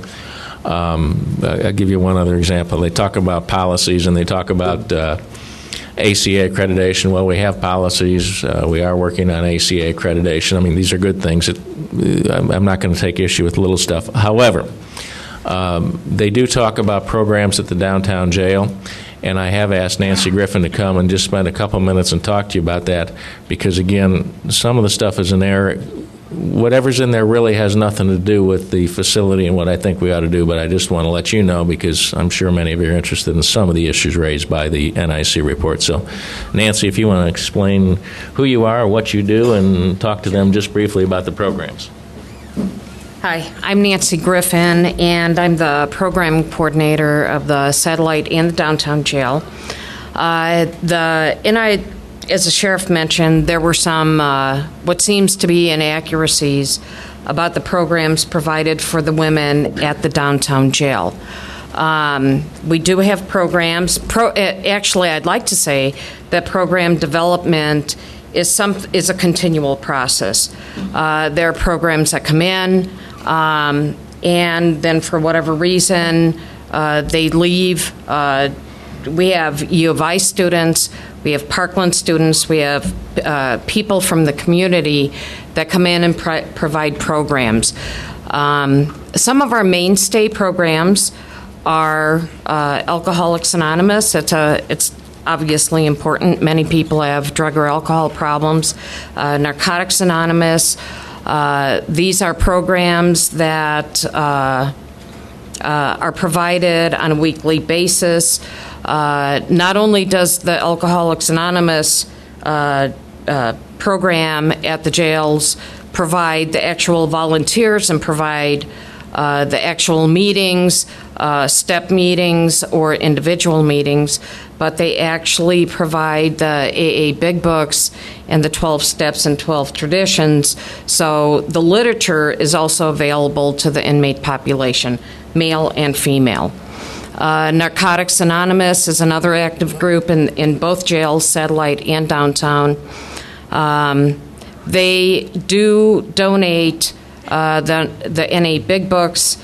Um, those tend to be a little more limited uh, because they don't have pocket editions like the AA uh, program has. Uh, we have GED at, at the satellite jail. Uh, we do not have that downtown at the women's jail or where the women are housed. Um, we are working with Parkland College, Project Read, uh, so that we can have more individualized uh, educational programs for the women that don't require the kind of numbers that actual classroom requires. Uh, GED, uh, having a satellite classroom requires funding. Funding requires an adequate amount of students to to have that, uh, so that we're able to have GED. So we are working on different types of educational programs for the women. Uh, church is, another important aspect for uh, the inmate population. We have uh, church groups, we have Bible study. Uh, Jesus is Away is our primary provider for church and Bible study. Uh, they provide the the church and Bible study for the women at, at the downtown jail, and another longtime uh, uh, provider of church is Barb Gillespie. She has been there at the jail for many years, uh, bringing in a church program for the women as well. Um, programs are important. It provides the inmate population with the opportunity for continuity in when they do get out of jail. As we know, most of our offenders are going to go back to the community. So we're, ho- you know, for us, the goal is is that when they get out of jail, they are able to continue with an educational program, uh, support groups, uh, spiritual counseling, so that they're able to avoid returning to jail um, because that, that's the important goal is that they don't come back. Any questions? Do you offer any ESL programs for uh, non-English speaking inmates? Um, we we do have interpreter programs. We've got interpreters. We've actually have some officers that are uh, that are bilingual and help us with with needs of of the the inmate population. But I would imagine that a lot of these inmates would not be able to take advantage of many of these programs that you uh, have indicated because a lot of them don't know the language. So you, you're saying that there's an officer that would sit there an hour or two and teach them GED classes in English or Spanish? Um, actually, we have a lot of uh, uh, Spanish speaking inmates that do attend GED, and they are the ones that do request the reading, tutoring, and reading and writing, and that's actually supplemented by our GED teacher. Um, we use the resources that we have. If we have uh, uh, bilingual inmates in the jail, we ask them to help us with people that need assistance for translation. So, actually, do we miss some people for programs? I would say that's always a possibility. Um, if we find a need, I go to find what I can do to fill that need. Yeah, uh, Dan, you said there were a number of inaccuracies in the report.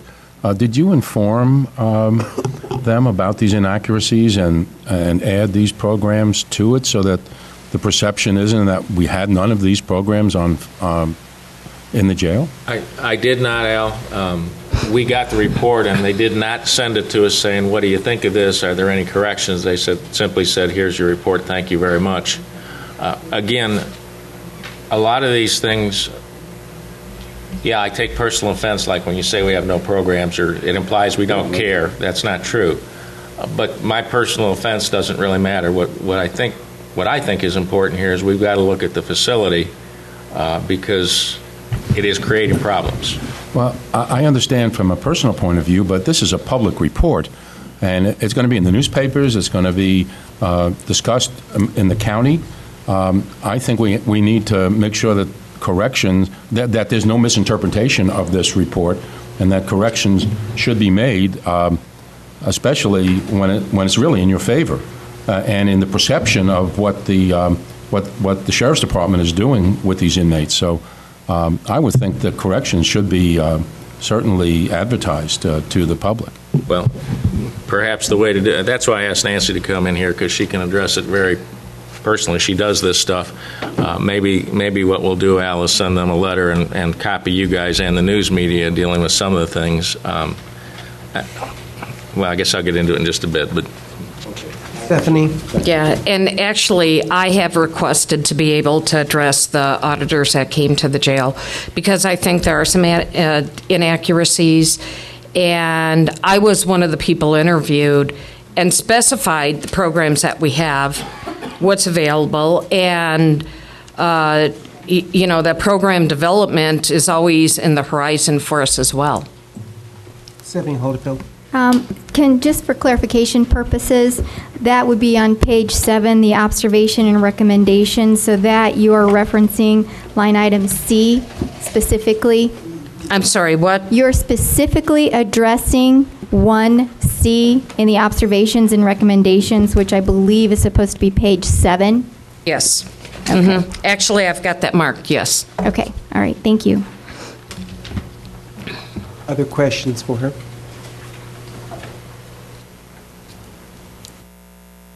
Thank you. Okay, thank you. Nancy, thank you. Uh, Okay, I guess now let's get down to it. Um, First off, why am I here now? Uh, I'm here now for, for basically two simple reasons. Number one, Ms. Busey's told me that, that at this point you folks are interested in, in talking about the downtown jail, the facility itself, and, and more importantly, Ms. Busey informs me that in the foreseeable horizon for a change, there may be some money available for bond issues so that we can do something about it. Um, I'm not going to, there's nothing in these reports, I don't think, that we haven't talked about before. I believe it was about a, about a year ago when we had to make some major repairs at the jail, and I, I think the, I, I think what I used as an example then is basically we're, we're fixing a flat tire on an old car when we took care of the cooler. That's why we're here today. I'm assuming all you folks are going to take a look at the various reports we've given you. Um, I want to just talk in, in very general. I'm not going to go through it all because I know you all can read. Uh, let me hit a couple of high points. First off, downtown. What was it designed to do? It was designed to hold 134 prisoners. The satellite, it was designed to hold 147 prisoners. Years ago, for those of you that have been on board a long time, we had a huge spike in our prisoner numbers.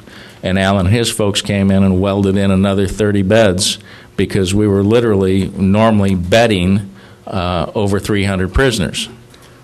What have we done since then? And again, this goes to that report to some extent, Al.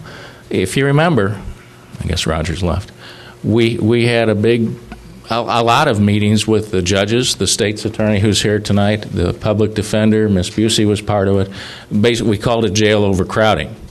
Uh, and for years, we worked on that. They mentioned in the report, for example, use OR or ROR, release on own recognizance.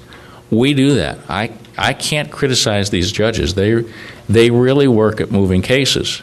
Did they do that when I first took office, 2002? The answer is no. They didn't care. But when our numbers got way up, um, presiding Judge Difanis got real involved in this stuff. So we're doing a lot of that stuff that other counties aren't doing. Um, I could talk for hours. I'm going to try not to. Um, first off, when I talk about bedded prisoners, what I mean, so we're on the same page, is a prisoner who has already been to arraignment court, his or her bond has been set by a judge, and they can't bond out, or they won't bond out. When, for those of you that aren't familiar, when an officer makes an arrest in this county, they 99 out of 100 times will come to the Champaign County Jail. They'll go in that little room where you saw the officer sitting at the desk and the prisoner sitting opposite him. They'll do a quick medical intake. They'll, they'll, they'll do a search of the person for contraband and weapons. Then they'll go into that booking area that you saw. That's those two long hallways. Um, we will we will book them in. We will fingerprint them. We'll take their mug photos, all this kind of stuff. We'll give them great opportunities to try to come up with bond if there is if it's a bondable case. Misdemeanors in general, it's hundred dollars. Felonies in general, you can't bond out. The court has to see you and set the bond. So when I talk about bedded prisoners, I'm not referring to the new intakes. Now, as of this morning, we take we take head counts periodically, but I always use the 6 to 7 a.m. head count as the official one. Uh, as of this morning, we had 18 prisoners in the book-in. That means 18 brand new prisoners. We had a total of 239 bedded down prisoners. In other words, they're they've been switched out into our clothing, and they're going to stay with us for a while. That's both facilities. There were about 50 inmates downtown, and of those 50, 23 were female.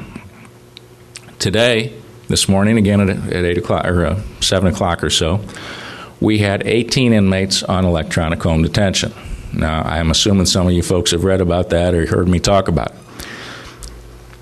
When we got our numbers way up in the 300s, we tried to find ways to reduce it.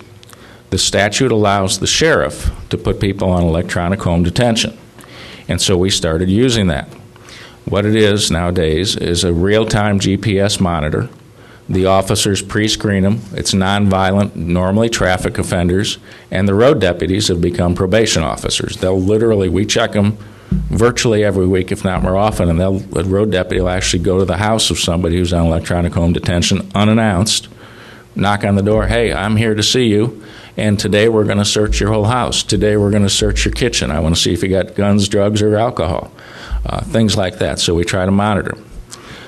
We've had and we've run as many as 50 prisoners on this electronic home detention. Unfortunately, the law is changing and perhaps Ms. Rietz may want to talk about her ideas on this. But there's an appellate case now, Illinois appellate case, saying the sheriff cannot use this electronic home detention for mandatory minimum sentences. Uh, I mentioned it in my in my report to you folks. A lot of our offenders are here in traffic. More and more reasons the state, the Secretary of State finds, and the legislature agrees why we're going to suspend people's driver's license. They have to get to work. They have to get to whatever. They drive while suspended. They're in our jail.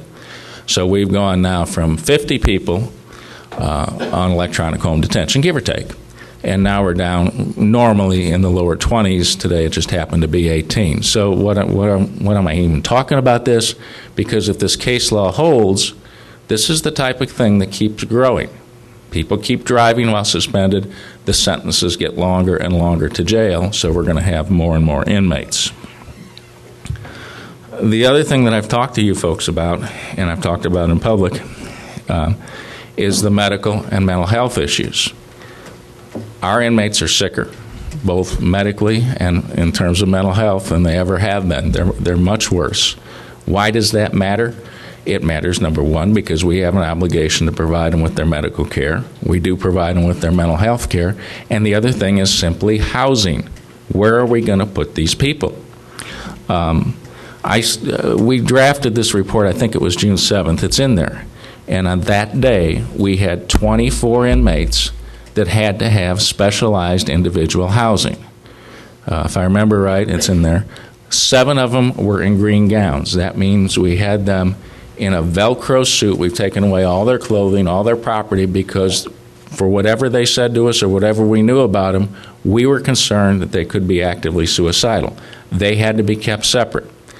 We had another, I think it's another seven uh, that had severe medical problems, including a couple, and we still got them today, that have to have oxygen generators. Well, I can't have electrical outlets in a normal cell block because what's an inmate to do? They have nothing to do but play around. They're going to stick something in that electrical outlet, so I can't have that. So I have to house those people separate. Most of them are on 15-minute checks, and the other then the other big area that came up with this 24 is just simply inmates with severe mental health problems that cannot be housed with others.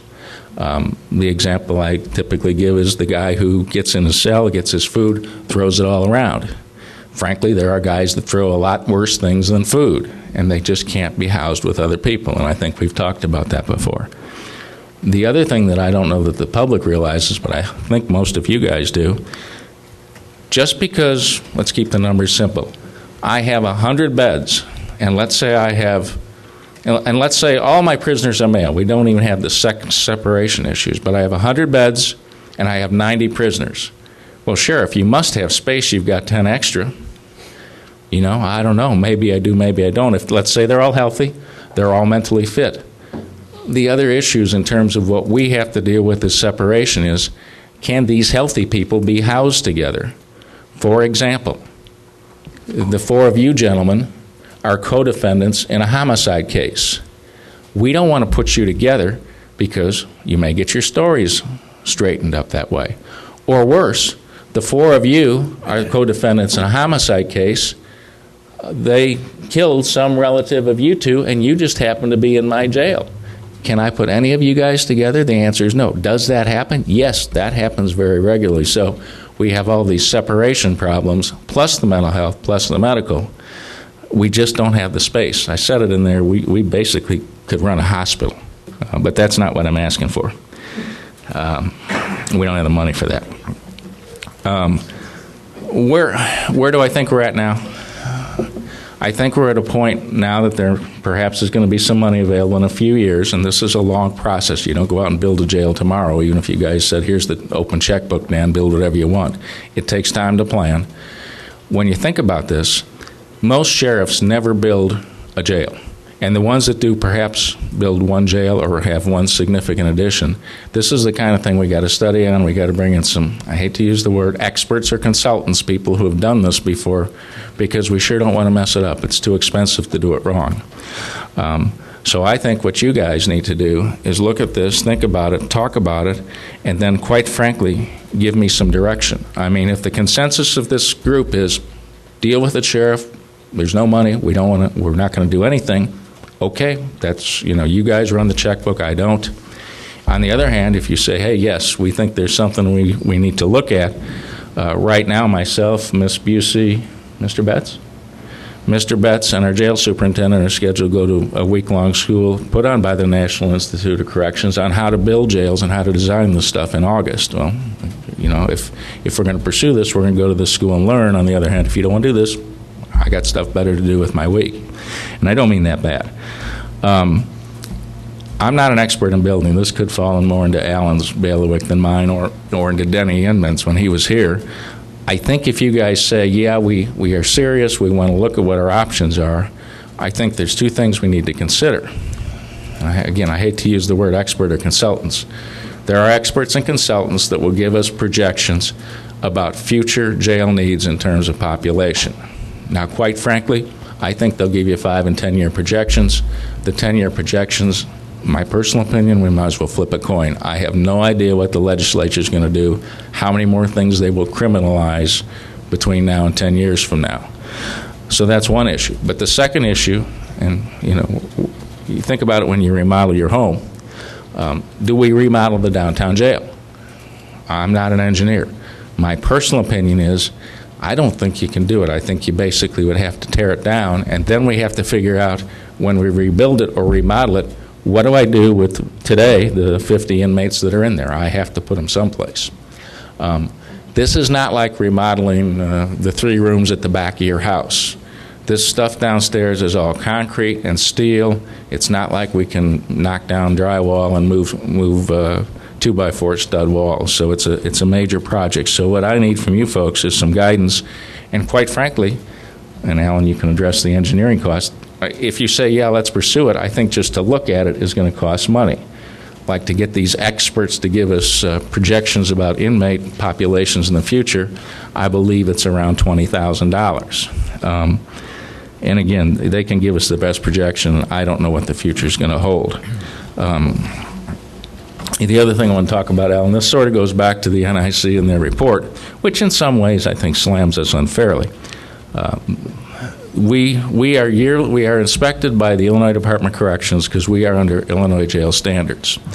Uh, our last two uh, inspections, I actually they're 50 some pages. Uh, I guess Deb and I had some miscommunications. The bottom line is the last two years, we have no non compliance. In other words, we are totally compliant except the dorm area of the downtown jail. It, it doesn't meet the right airflow standards, and uh, that it's an exception because it was built before 19, uh, 1988. Some of you may look at that and say, well, why are those vents covered? Well, or why are those windows covered? It's real easy. When that place was designed, the vents are low enough. I, as an inmate with nothing to do all day long, can reach that vent and start sticking stuff in it, or poking it, or pulling it, or tearing it apart to use it as a weapon. It was just, I, have no idea who designed it. I just think it could have been better designed. But those are some of the issues. Uh, the other one I want to just mention because I think it's kind of funny, and I hope I don't upset anybody. Um, I took this picture months ago. These are some of our regular pets, and this is upstairs. I mean, this is my office, this is the bathroom myself and the girls use. This is so common. I showed it to uh, one of our union stewards. I said, if I tell the board this does not upset you because it's so common, would that be true? And her answer was yes. We're used to this. It's an old building. We had a young lady who graduated from high school just a few weeks ago in our office today. She was doing some volunteer work. Guess what ran across the carpet right in front of her, 20 feet from my office door? One of our little friends. Now, she freaked out, screamed, and said, I'm done, I'm out of here. And my secretary, Teresa, went up and snapped on it, threw it away, and didn't even think about it. Um, the other thing, and just while I'm on this, because I again think this is humorous and you might find it of interest, uh, this past summer we actually had a birth in the jail.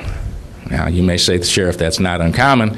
You know, prisoners get pregnant, that kind of stuff happens. Well, in this case, it was a, I don't know what you call it, a litter of baby gardener snakes uh, because we found baby snakes upstairs and downstairs. I mean, that's just the nature of this old building. There's apparently a lot of holes and sewer entrances and things like that. So I guess what I'm saying, folks, take a look at this stuff. You guys need to talk about it, and then if you want us to pursue it, we are going to spend some money, and I guess we'll have to get that somewhere to, to look at some of the engineering stuff. And uh, other than answering your questions, that's where we're at. I've been around long enough that I remember when that building was built. I wasn't on this board, but I went to a lot of board meetings for an organization that monitored things. And as I recall, the old, old jail was condemned more or less by the state. And they had a lot of discussion about the size of that lot that building's on, and it was jammed in there to where you can't do anything else with it. And the thing was over capacity the day it opened. That's exactly right. And I remember sitting in here and discussing boarding of prisoners like we discuss agency nursing with a nursing home now. And Coles County and Douglas County and DeWitt County and to a lesser extent Ford pretty much built a jail on what we spent in out of county boarding. And we had deputies on the road to Charleston and Tuscola and Paxton and Clinton bringing these guys home to go to court and taking them back. That, that, is quite true. And the struggle they had with that building was just like the struggle we had with that courthouse before we got the quarter cent passed. There was no money to, to build it. Every corner was cut to get it done.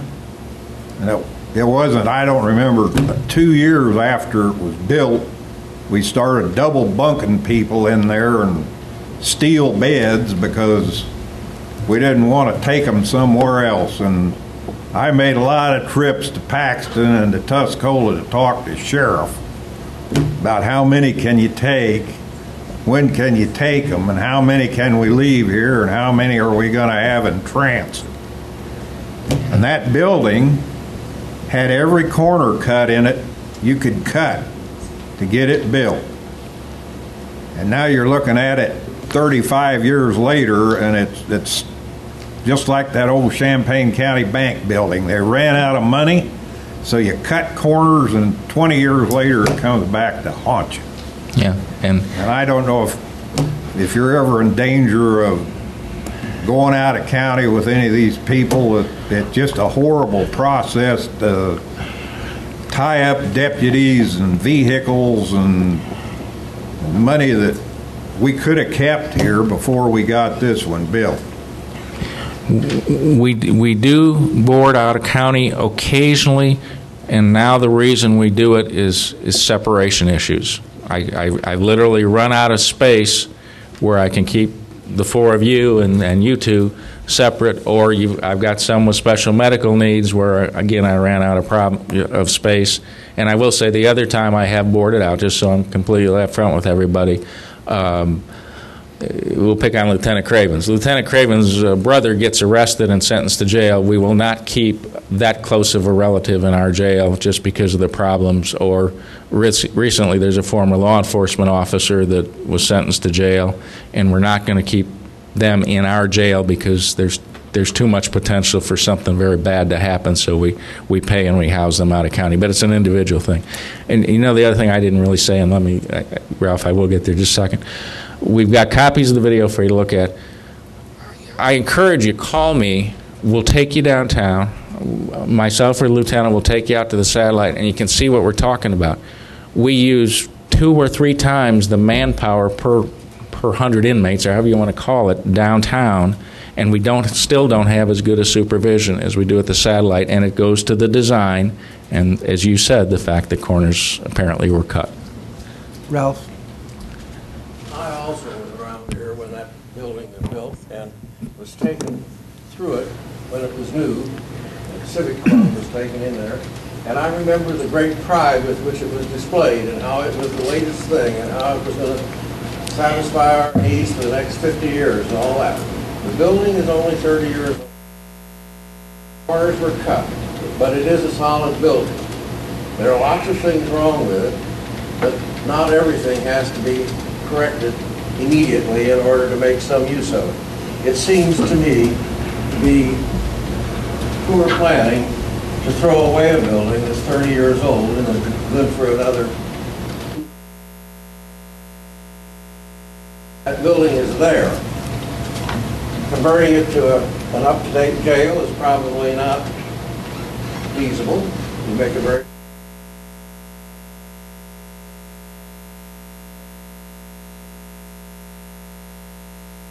additional capacity is constructed, it probably should be constructed out here.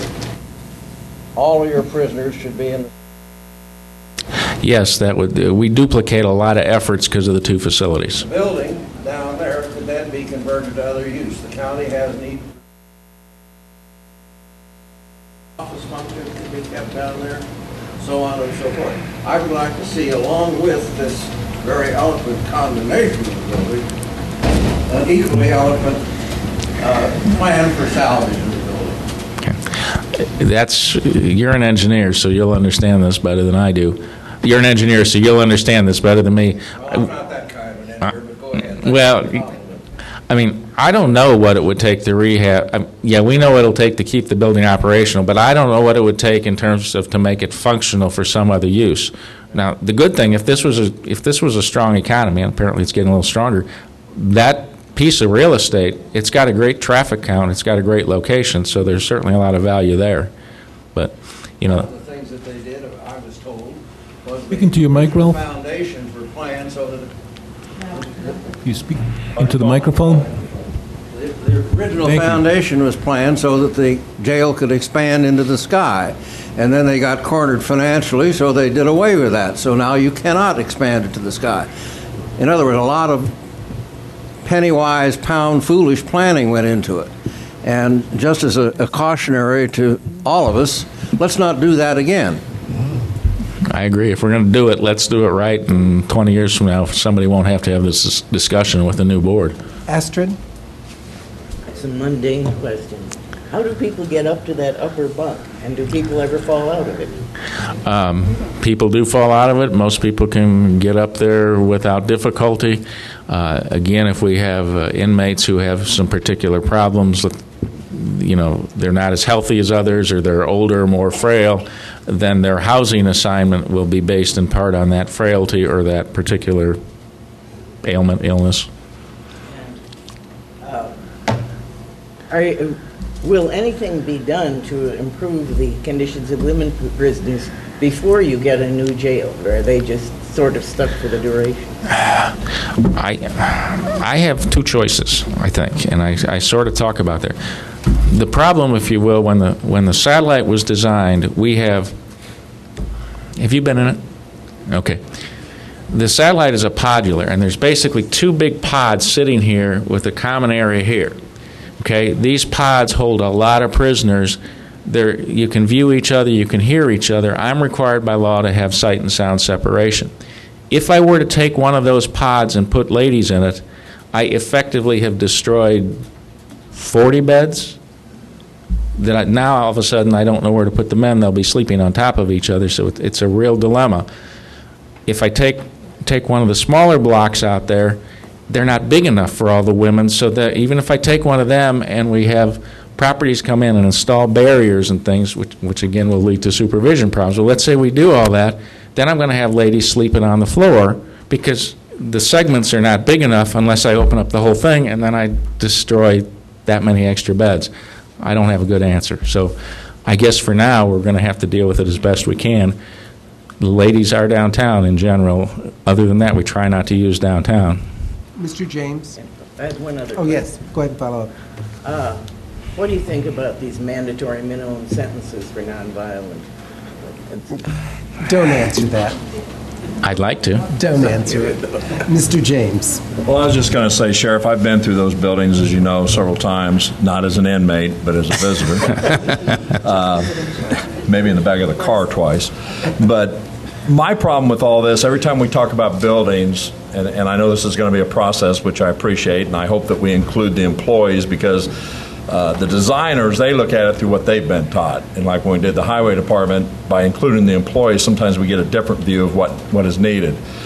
But my overall concern, and John Jay and I have talked about this in many designs of many buildings, is once we have it, we don't maintain it. And when I look at some of these photos, uh, I take care of some apartments that were built in 1941. I mean, there's a lot of things always going wrong, always needing updated, but we have a plan and we have a budget and we work within that. Uh, when I've done some of the tours, the paint, the bugs, the infestations, I mean, those are minor things in my mind that if, if the right tools were in place, the budget items and the painting, I think that every building should have a, a schedule of repairs. Uh, but with all that said, I know that'll come to it. There are those out in the public, when we talk about building jails, they have the attitude that it doesn't have to be that nice because prisoners are there for a reason. I understand the safety issue, I truly appreciate that, but we're talking a lot of money that those that work out there are getting hit daily with a new tax or a new surcharge or a new penny tax for schools or what have you. And then we go to our own homes, which are falling apart. And we're saying, well, why can't they do better with what they have? And I heard Ralph speaking about there had been a, a deal when that building was built. I had a contractor today that was bending my ear. Uh, thanks, Al. But no, he didn't send him. But he did mention to me that that building, when he worked on it, had been made so that it could be elevated up to the best of his knowledge. He was one of the workers. Whether that's true or not, all of them are going around. But uh, all this too on one campus. I understand the need, but also you're. I know there's video things in place, and looking at that old building. My last comment's going to be, when we moved out of the nursing home into the new one, and the new one needs some work now, in my opinion. But the old one, what Elias has done with that building is remarkable. So things can be done. I mean, there's a lot of new stuff out there with uh, cameras, uh, reventing. I understand your dilemma with rehousing prisoners but we're looking at a major dollar item. And I hope this board, like Ralph said, takes the time to study it, to look at it. Consultants, you're right. They're going to give you an opinion. They get their paycheck and they're gone. We got to live with it. So, with that said, I just hope we move not so fast on this and that we move slowly and remember the times we are in. But I support you, Sheriff, because I do think your officers as a whole do a good job up there. Well, well, thank you, and and I I do agree. I mean, I I really anticipate just our discussion is going to be months as we talk about options and go from there. I don't expect anything happening quickly. Carol. I I wanted to ask uh, the facilities manager about the facilities report. I remember last year when we had to do the HVA system downtown, uh, that was the, I believe in that year, that was the only major repair that we did. Are there other major repairs that are necessary on the downtown jail right now? Um, Yes, there are within the next three to five years. What what kind of major repairs? Well, the major ones are included in my, my report that's coming up here after the sheriff's finished. Okay. Mr. Quisenberry. I'm, I'm going to take a different tack than maybe Tom will allow you to answer the question, but um, I think I heard you say that um, folks who are driving on a suspended license are getting mandatory sentence, and we're, we're housing them in our jail. How many, you know, just roughly, how many folks are we housing in our jail for offenses of that kind of magnitude?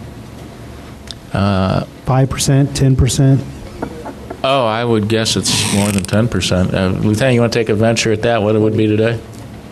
Uh, On the DUS side of it, I would guess, and this is just a guess because those numbers do go up and down depending on the time of the year, maybe 30% of them are in there on the traffic offenses, such as the DUS.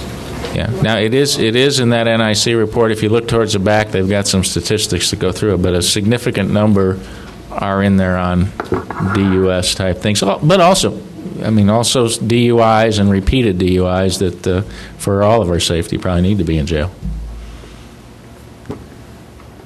Other questions for the sheriff? Yes. Um, I'm going to sort of really jump the gun here. I mean, this is, don't, don't read too much into this question, but uh, I assume at the time the current uh, satellite jail was built, there was an estimate made in terms of the cost to add additional pods or to expand that facility. I know it was designed with expansion in mind. Can you, or can anyone give us a general idea of sort of how much we would look at per bed or how much we'd look at per pod or something like that to expand that facility? And I'll, I'll tell you why I'm asking once I get a guess. I'm going to defer that to Alan. I don't know. I wasn't here then. I'm sorry, I do not have that number e- either. The only thing I can see is it was built to be added on to. That I do know, because I What was was the total here. cost of that facility and the number of beds?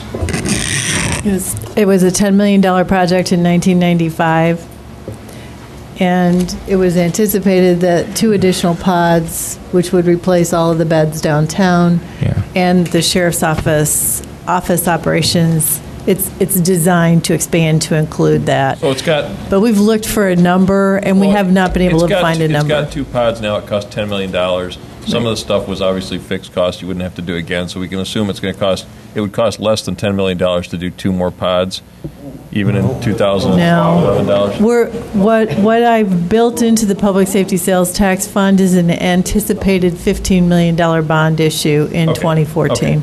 Uh, The reason I, the reason I made that point, I've got a couple other brief points to make, but, I mean, in the, uh, in the sheriff's report here, I mean, he charted this out for the next, just literally the next few years, and identified as uh, potentially as much as almost $2 million worth of repairs that might be necessary to this building.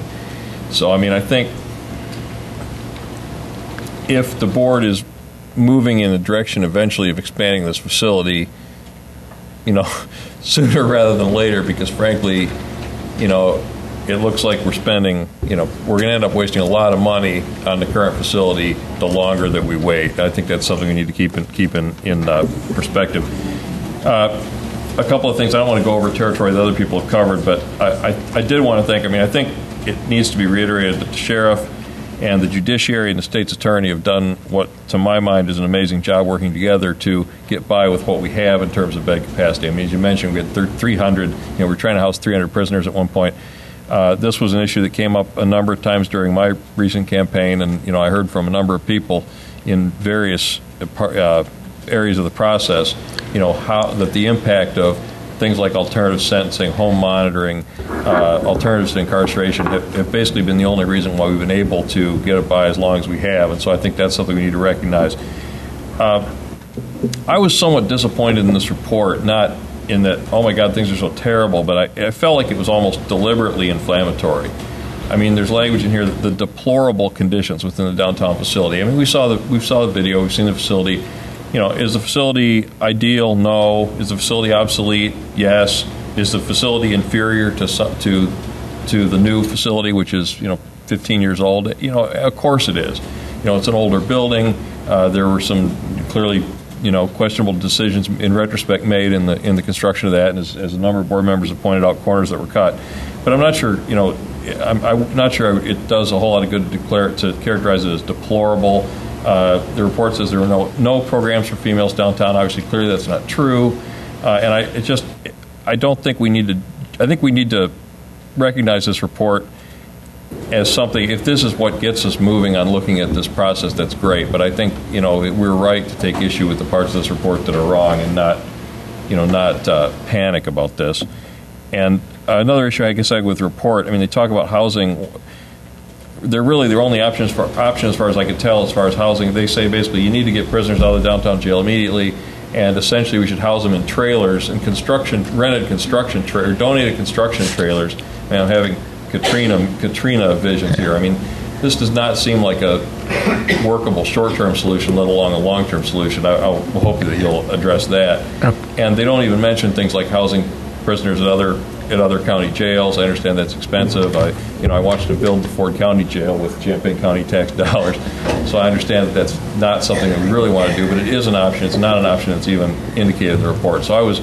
I guess quite disappointed in the report. It seemed like there were numerous inaccuracies. Uh, it was sort of deliberately inflammatory and didn't really give us a whole lot of guidance. But I'll wrap up by saying I do think, you know, personally, I think it's important that we look to replacing the downtown jail. I think most of the other board members are in agreement. So, you know, I'll appreciate any guidance that you'll be able to give us. Yeah, I, again, Al, this kind of goes to my opinion on the. These are these are experts in the field. I, I give them that; they know what they're doing. But but they're familiar with brand new state of the art jails. This is what they do: is go around and consult and, and build brand new jails. So they see our facility and they didn't like it. I, if, I would never suggest. I think contractors are going to come in and donate prefab buildings or trailers.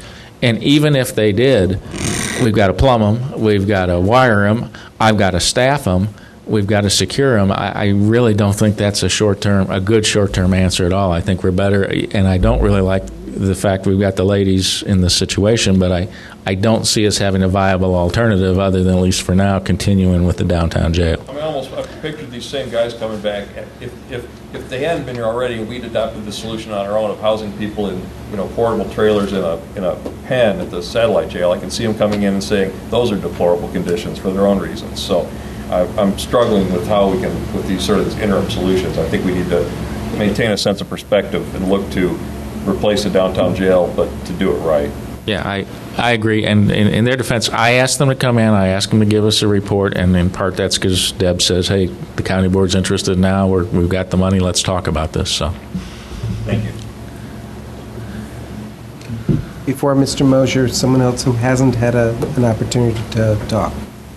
Have we still got the recommendations that were made when this building was built out here as far as it, any planning about how those other pods be added on and I I know they do somewhere. I was around here when that I happened. think but we should somewhere. I, I, I'm kind of like Tom. I, I assume we do somewhere. I assume if somebody dug through maybe all of Denny's old stuff, we'd find some at least rough sketches about how they envisioned it. But I, I don't know. I'm not going to be here, but uh, after that courthouse fiasco with that old building, I feel like an old jail's like an old house. My dad used to say you jack up the chimney and you put another one up. And that, to me, is the condition that thing's in because you can't cut corners in the beginning and fix it in the end. It just can't be done. Mr. J. Uh, For just a little bit of humor, I would like, Sh- Sheriff, Yes, are you sir. paying good attention to me, sir? I always do. Those four guys right there that you got in jail, we Yeah. don't want them in, out of county. We'd like to get you to get them out of state. And those two over there, too. All of us in the back row would appreciate that. Oh yeah, I see what you're saying now. Um, Mr. Chairman, on a ser, Mr. Chairman, on a serious note, uh, I happen to I have. thought that was pretty serious. I, I think Ralph uh, had something, uh, I- you know, 35 years old, uh, uh, if Moser don't hit me here, uh, that's not very long for a brick and mortar building to last. And I argued, and I'm not going to belabor it because you've all heard the speech before, but Stan and I have argued and argued that we're not taking care of our buildings, and we wouldn't be looking at these costs that we were just referring to on the back if we'd have been taking care of that building for the last 35 years. But having said that, that's water under the bridge, and we need to do whatever we need to do. Uh, And I do agree with, uh, with my colleague up here that uh, I would, I took a little bit of offense when I was reading that, and- and Sheriff, I actually read it, believe it or not. Uh, it- it- the dirty walls, the dingy walls, God, I can give you guys some paint and you can fix that in a minute. Yeah, you, you can, and gradually we are, but we, we have to have a whole block open so these guys can come in and work. Uh, For Justin, our maintenance guy, spent the day in two of the, two of the blocks downtown because right now we got an empty fixing stuff. Can't you get the prisoners to do it for an extra chicken leg or something? You don't barter in your jails? Um, we, we do, but, but I don't want to get off topic, but believe it or not, in the last four years or so, society has changed so much. It used to be if we said to an inmate, Do you want to be a trustee? We'll let you see a movie once a week, and once a month we'll give you a piece of pizza, or we'll give you some pizza. They'd knock down Nancy's door to be on the list. We literally got to a point where they'd rather lay around in their cell, and we've now got to pay them a dollar a day to do it because we couldn't get enough to do it. Can I have a follow-up on that, Mr. Chairman? Uh, Do we have any trustees at all anymore then? Yes, we use trustees for the, uh, the kitchen. There's probably 10 to 15 in the kitchen. And then they, they clean it up, and we call them floor trustees, and then they do the laundry. Thank you.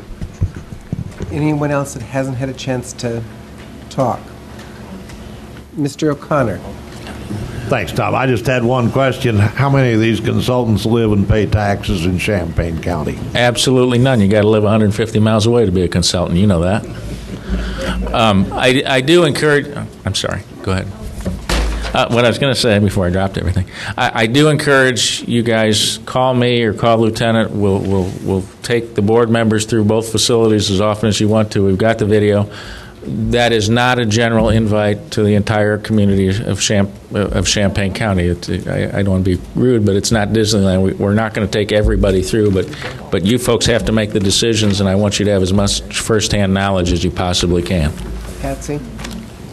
Um, If the four of you do end up going to this program, this week program, I do hope then that we set up a study session where you- the four of you can share what you learned so we can benefit from that as we then go through this process. of I would share with you. Pattsi, that that is absolutely the intention, is that everything that we learn is going to be shared. Now, the written documentation, everything is going to be shared. There's no point in, in doing it if we don't have all 27 folks invested with the same information. And the good, the good news is this is free. NIC pays for all of us to go and pays for the school. It's not going to cost us uh, anything. But, but I, I would honestly, from my personal point of view, I'd like at least some, what do you want to call, it, straw indication that you folks are interested before we all go do this. I'll deal with that in a minute. Um, I'm trying to see if anyone who hasn't had, did you, have you talked first? Okay, Thank you, Mr. Chairman. Um, I have actually been in the satellite prison. I stopped by one day and um, was given a tour, uh, and I would be uh, happy to go to the downtown jail to get a better perspective. Uh, looking at the video and the floor plan uh, isn't, I don't think, going to give me a good enough idea, somewhat. But so I would be more than happy to go down to the uh, downtown jail. I've also been had the pleasure. Uh, a professor took a class, and I went with uh, in my class to Pontiac High Maximum Security Prison, as well as Dwight, which is a, a prison designed specifically for women. And that prison, I don't know if you're familiar with it, is over 100 years old. Um, I and we've purchased homes and remodeled them. I guess I'm one of those kind of people that says, let's look into a remodel if at all possible. I know that it's not a two by four wall that we're we're moving around, and it's it's a it's a potentially bigger job. But I would rather us try and figure out how, if at all possible, we could remodel and and work the semantics out with the downtown because. Um, I, you know, first of all, we are still in down economy. I don't know what we're going to do with that downtown jail. Um, are we going to be able to sell it? Are we going to be able to get the city of Urbana interested in it? What what are we going to be able to do with this? And then the demolition of that building alone, if that's what needs to happen, is is going to be very very expensive. So before we you know move forward on constructing, uh, ad- adding on to the satellite, I do want us to you know review any type of uh, remodel to that downtown. So I think that seems reasonable and fair before we move forward on anything else. Cer- Certainly it does. Uh, Stephanie, you brought up something, and- and some of you know this, some of you may not. When, whatever you guys decide to do, when, when we consider a county jail, I want you to keep one thing in mind. A county jail is basically a maximum security prison. It is, we have to hold all kinds of people, so the whole place has to be maximum security. We actually have inmates go to their lawyers and say, get me sentenced to prison because I've got more freedom in prison than I do in a county jail. That's just the nature. It has to be designed and built that way, if whatever we do. Jan?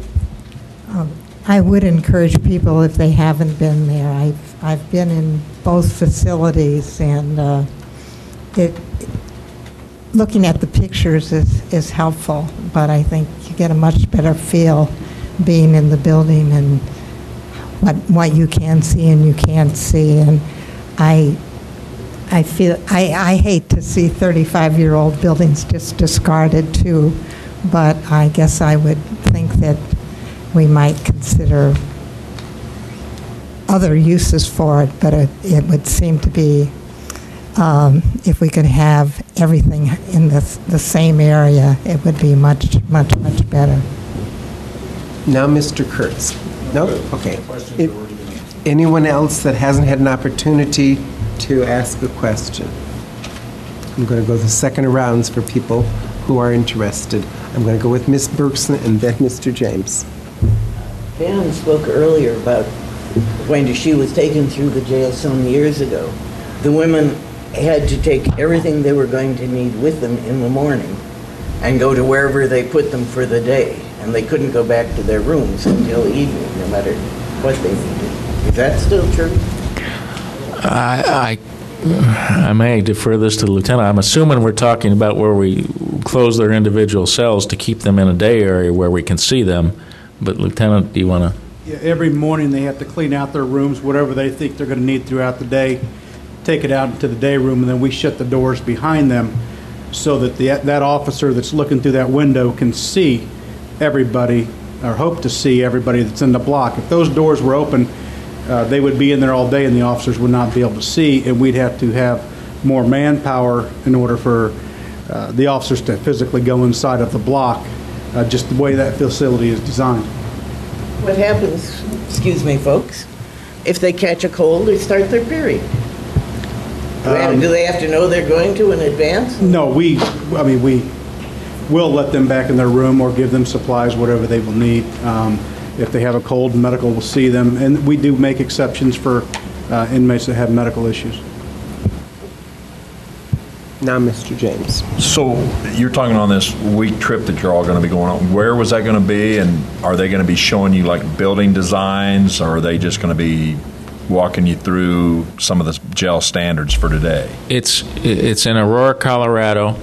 Um, there is a new facility. I don't, I don't know if it's in Aurora or an adjacent county that they use as an example. I, I think of a lot of it though, Stan, as classroom type work and education like that. So Tom, if you can't make it, let me know. Other questions? Thank you, Sheriff, um, a great deal um, for the presentation. Thank you. This is Thank you. a process, and it, it's no one is going to be making a decision tonight about we're building a facility at the satellite, we're tearing down the downtown, we're reconfiguring. We have none, we have none of the information to make a final decision of that nature. What this is a process, and I hope everyone stays engaged in the process, reads the papers. Um, I think the, the NIC report was actually very interesting because I think it stimulates, it lights a fire under the board, even though there's things that people don't like in there, to make us address this issue. And it's pretty easy not to address issues and then let it sit there for 10 more years after we've been sued by this one and that one, um, and then finally address it. I, I don't want us to do that. I want us to have the discussion and come up with a plan and follow through with it, even, even if it's a plan that I'm not in love with or we're all not in love with, but a plan that gets us from point A to point B. Um, and the, the real point of the whole thing is we want our jail staff to be able to perform their functions in a safe, sanitary, healthy environment. We want to protect the safety of the inmates. This is not just um, a, a situation where you want to just protect the employees. It can be a very risky environment for all parties. Penological standards change over a period of 35 years. Housing standards change over a period of 35 years. Um, Building codes change. So it's, it's not something that should shock us that this facility is, is not state-of-the-art at this point. We know it's not state-of-the-art. The question is, where do we go? Um, I, I do want to hear from our facilities director, his, his um, report you, you have this evening, if you could briefly share it with the board members. Yeah, thank you. It's, uh, the last two pages of the uh, handout show the report I prepared. Um, To answer the questions earlier about uh, what needs to be done, um, tried to give you a very, very brief history of the building from 1980 to current standards, picking out just the major, major issues that were done, um, and a few of the major faults. I- I'm not going to read this to you, but um, since night, uh, since my predecessor, my boss told me from the day I started back in 1981 that probably we started remodeling this building the day the paint dried, or before the paint dried. We were actually cutting holes in block walls, making access panels so we could access the plumbing. Uh, They put fixtures in places we couldn't even access, and we, there's no way we could repair them. But throughout the years, um, the mid-'80s and '90s, adding more beds and, and uh, the major equipment that's been repaired and/or been replaced. Uh, So, um, on the le- second and third page are seven major items that have been addressed and brought to your attention by past uh, um, studies and/or current pricings that I've, so um, it looks like, well, we are going to, uh, probably within the next three to five years, spend between 15, 1 million five or 1 million eight on this building, just on roofs, uh, locks, if we keep going, using it as this facility, not to mention the money we need to put in on paint, uh, pest control, a few other things that were mentioned tonight. So if there's any questions, I would be happy to uh, answer them. Mr. Nudo. You know, I, I guess, uh, I know there's a, a feeling that we should work with the existing building, but I know from talking to uh, construction people that it's sometimes, most of the time, more expensive to uh, retro a building than it is to scrape it and start over. I I had, I had an example of the old train station uh, in downtown Champaign where somebody wanted to move in there. We brought in a construction company, and, and he basically said to him, "I- I'd be better off just scraping it, and I can duplicate it for you. I can build the same station that you see here, give it some historic feeling, but the cost is going to be about 20 to 25 percent more because of retro code and, and some of the impediments that old buildings just did not, uh, do not have in today's world.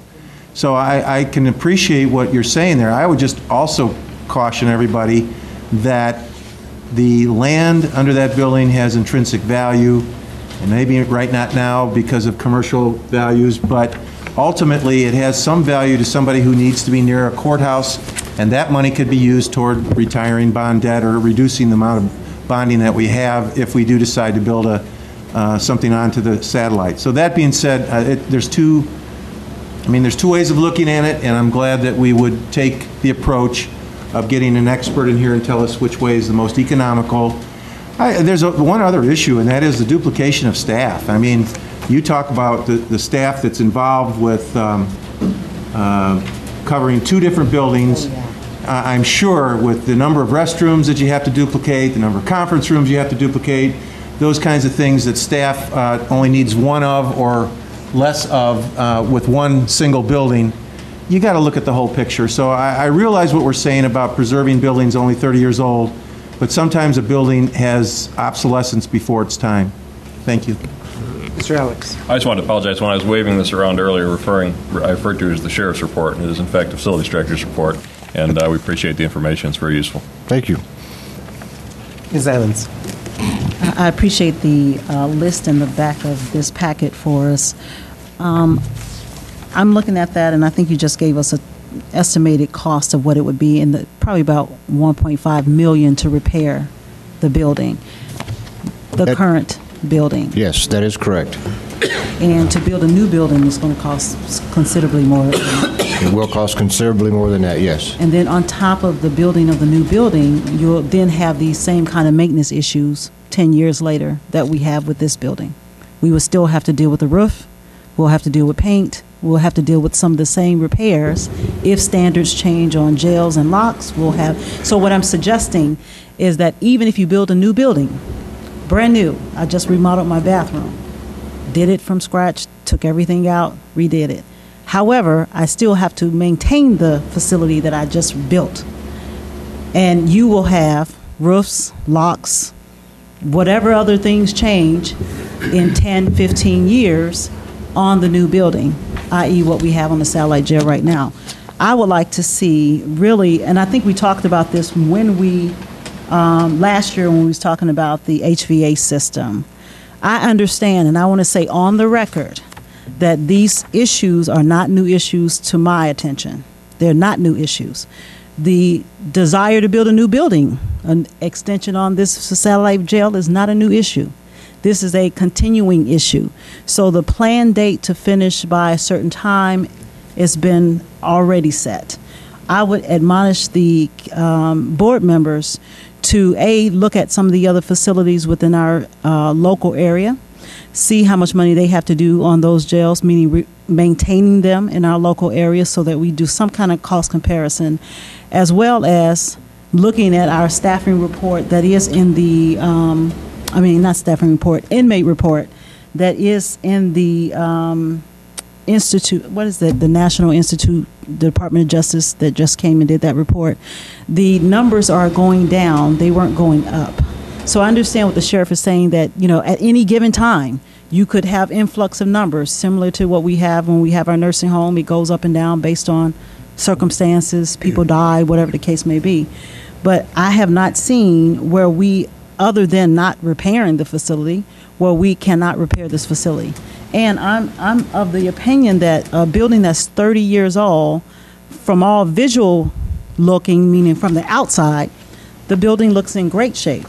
From the inside, of course, and I've been in both facilities, from the inside, obviously it needs some work. And so I, I would like to really see a lot of study sessions done. I would like for us to have some public sessions so the public, uh, and I have received emails and texts about the downtown jail. They were not positive. So I know that the conditions need repair, and the complaints weren't that um, they couldn't be repaired, but that they weren't repaired. And so I would like for us to also make this process um, not a permanent direction that we're automatically going to build a jail, because that's what I've heard from a lot of members tonight. Well, let's see what we can do with that building. Let's start working on this one. Um, and then I would like for the county board, the administration, to present to the public exactly where we're going to get all this money from. So that those are my comments on the current situation. Mr. Moser. I watched this board kick the can down the road on an old jail, on a youth detention center, and a courthouse, and it always gets down to where somebody has put a gun to your head and said, you got to do something. When you get in that position, your options are pretty limited. But somewhere along the line, somebody's got to say, we're not going to kick it any further, we're going to fix it.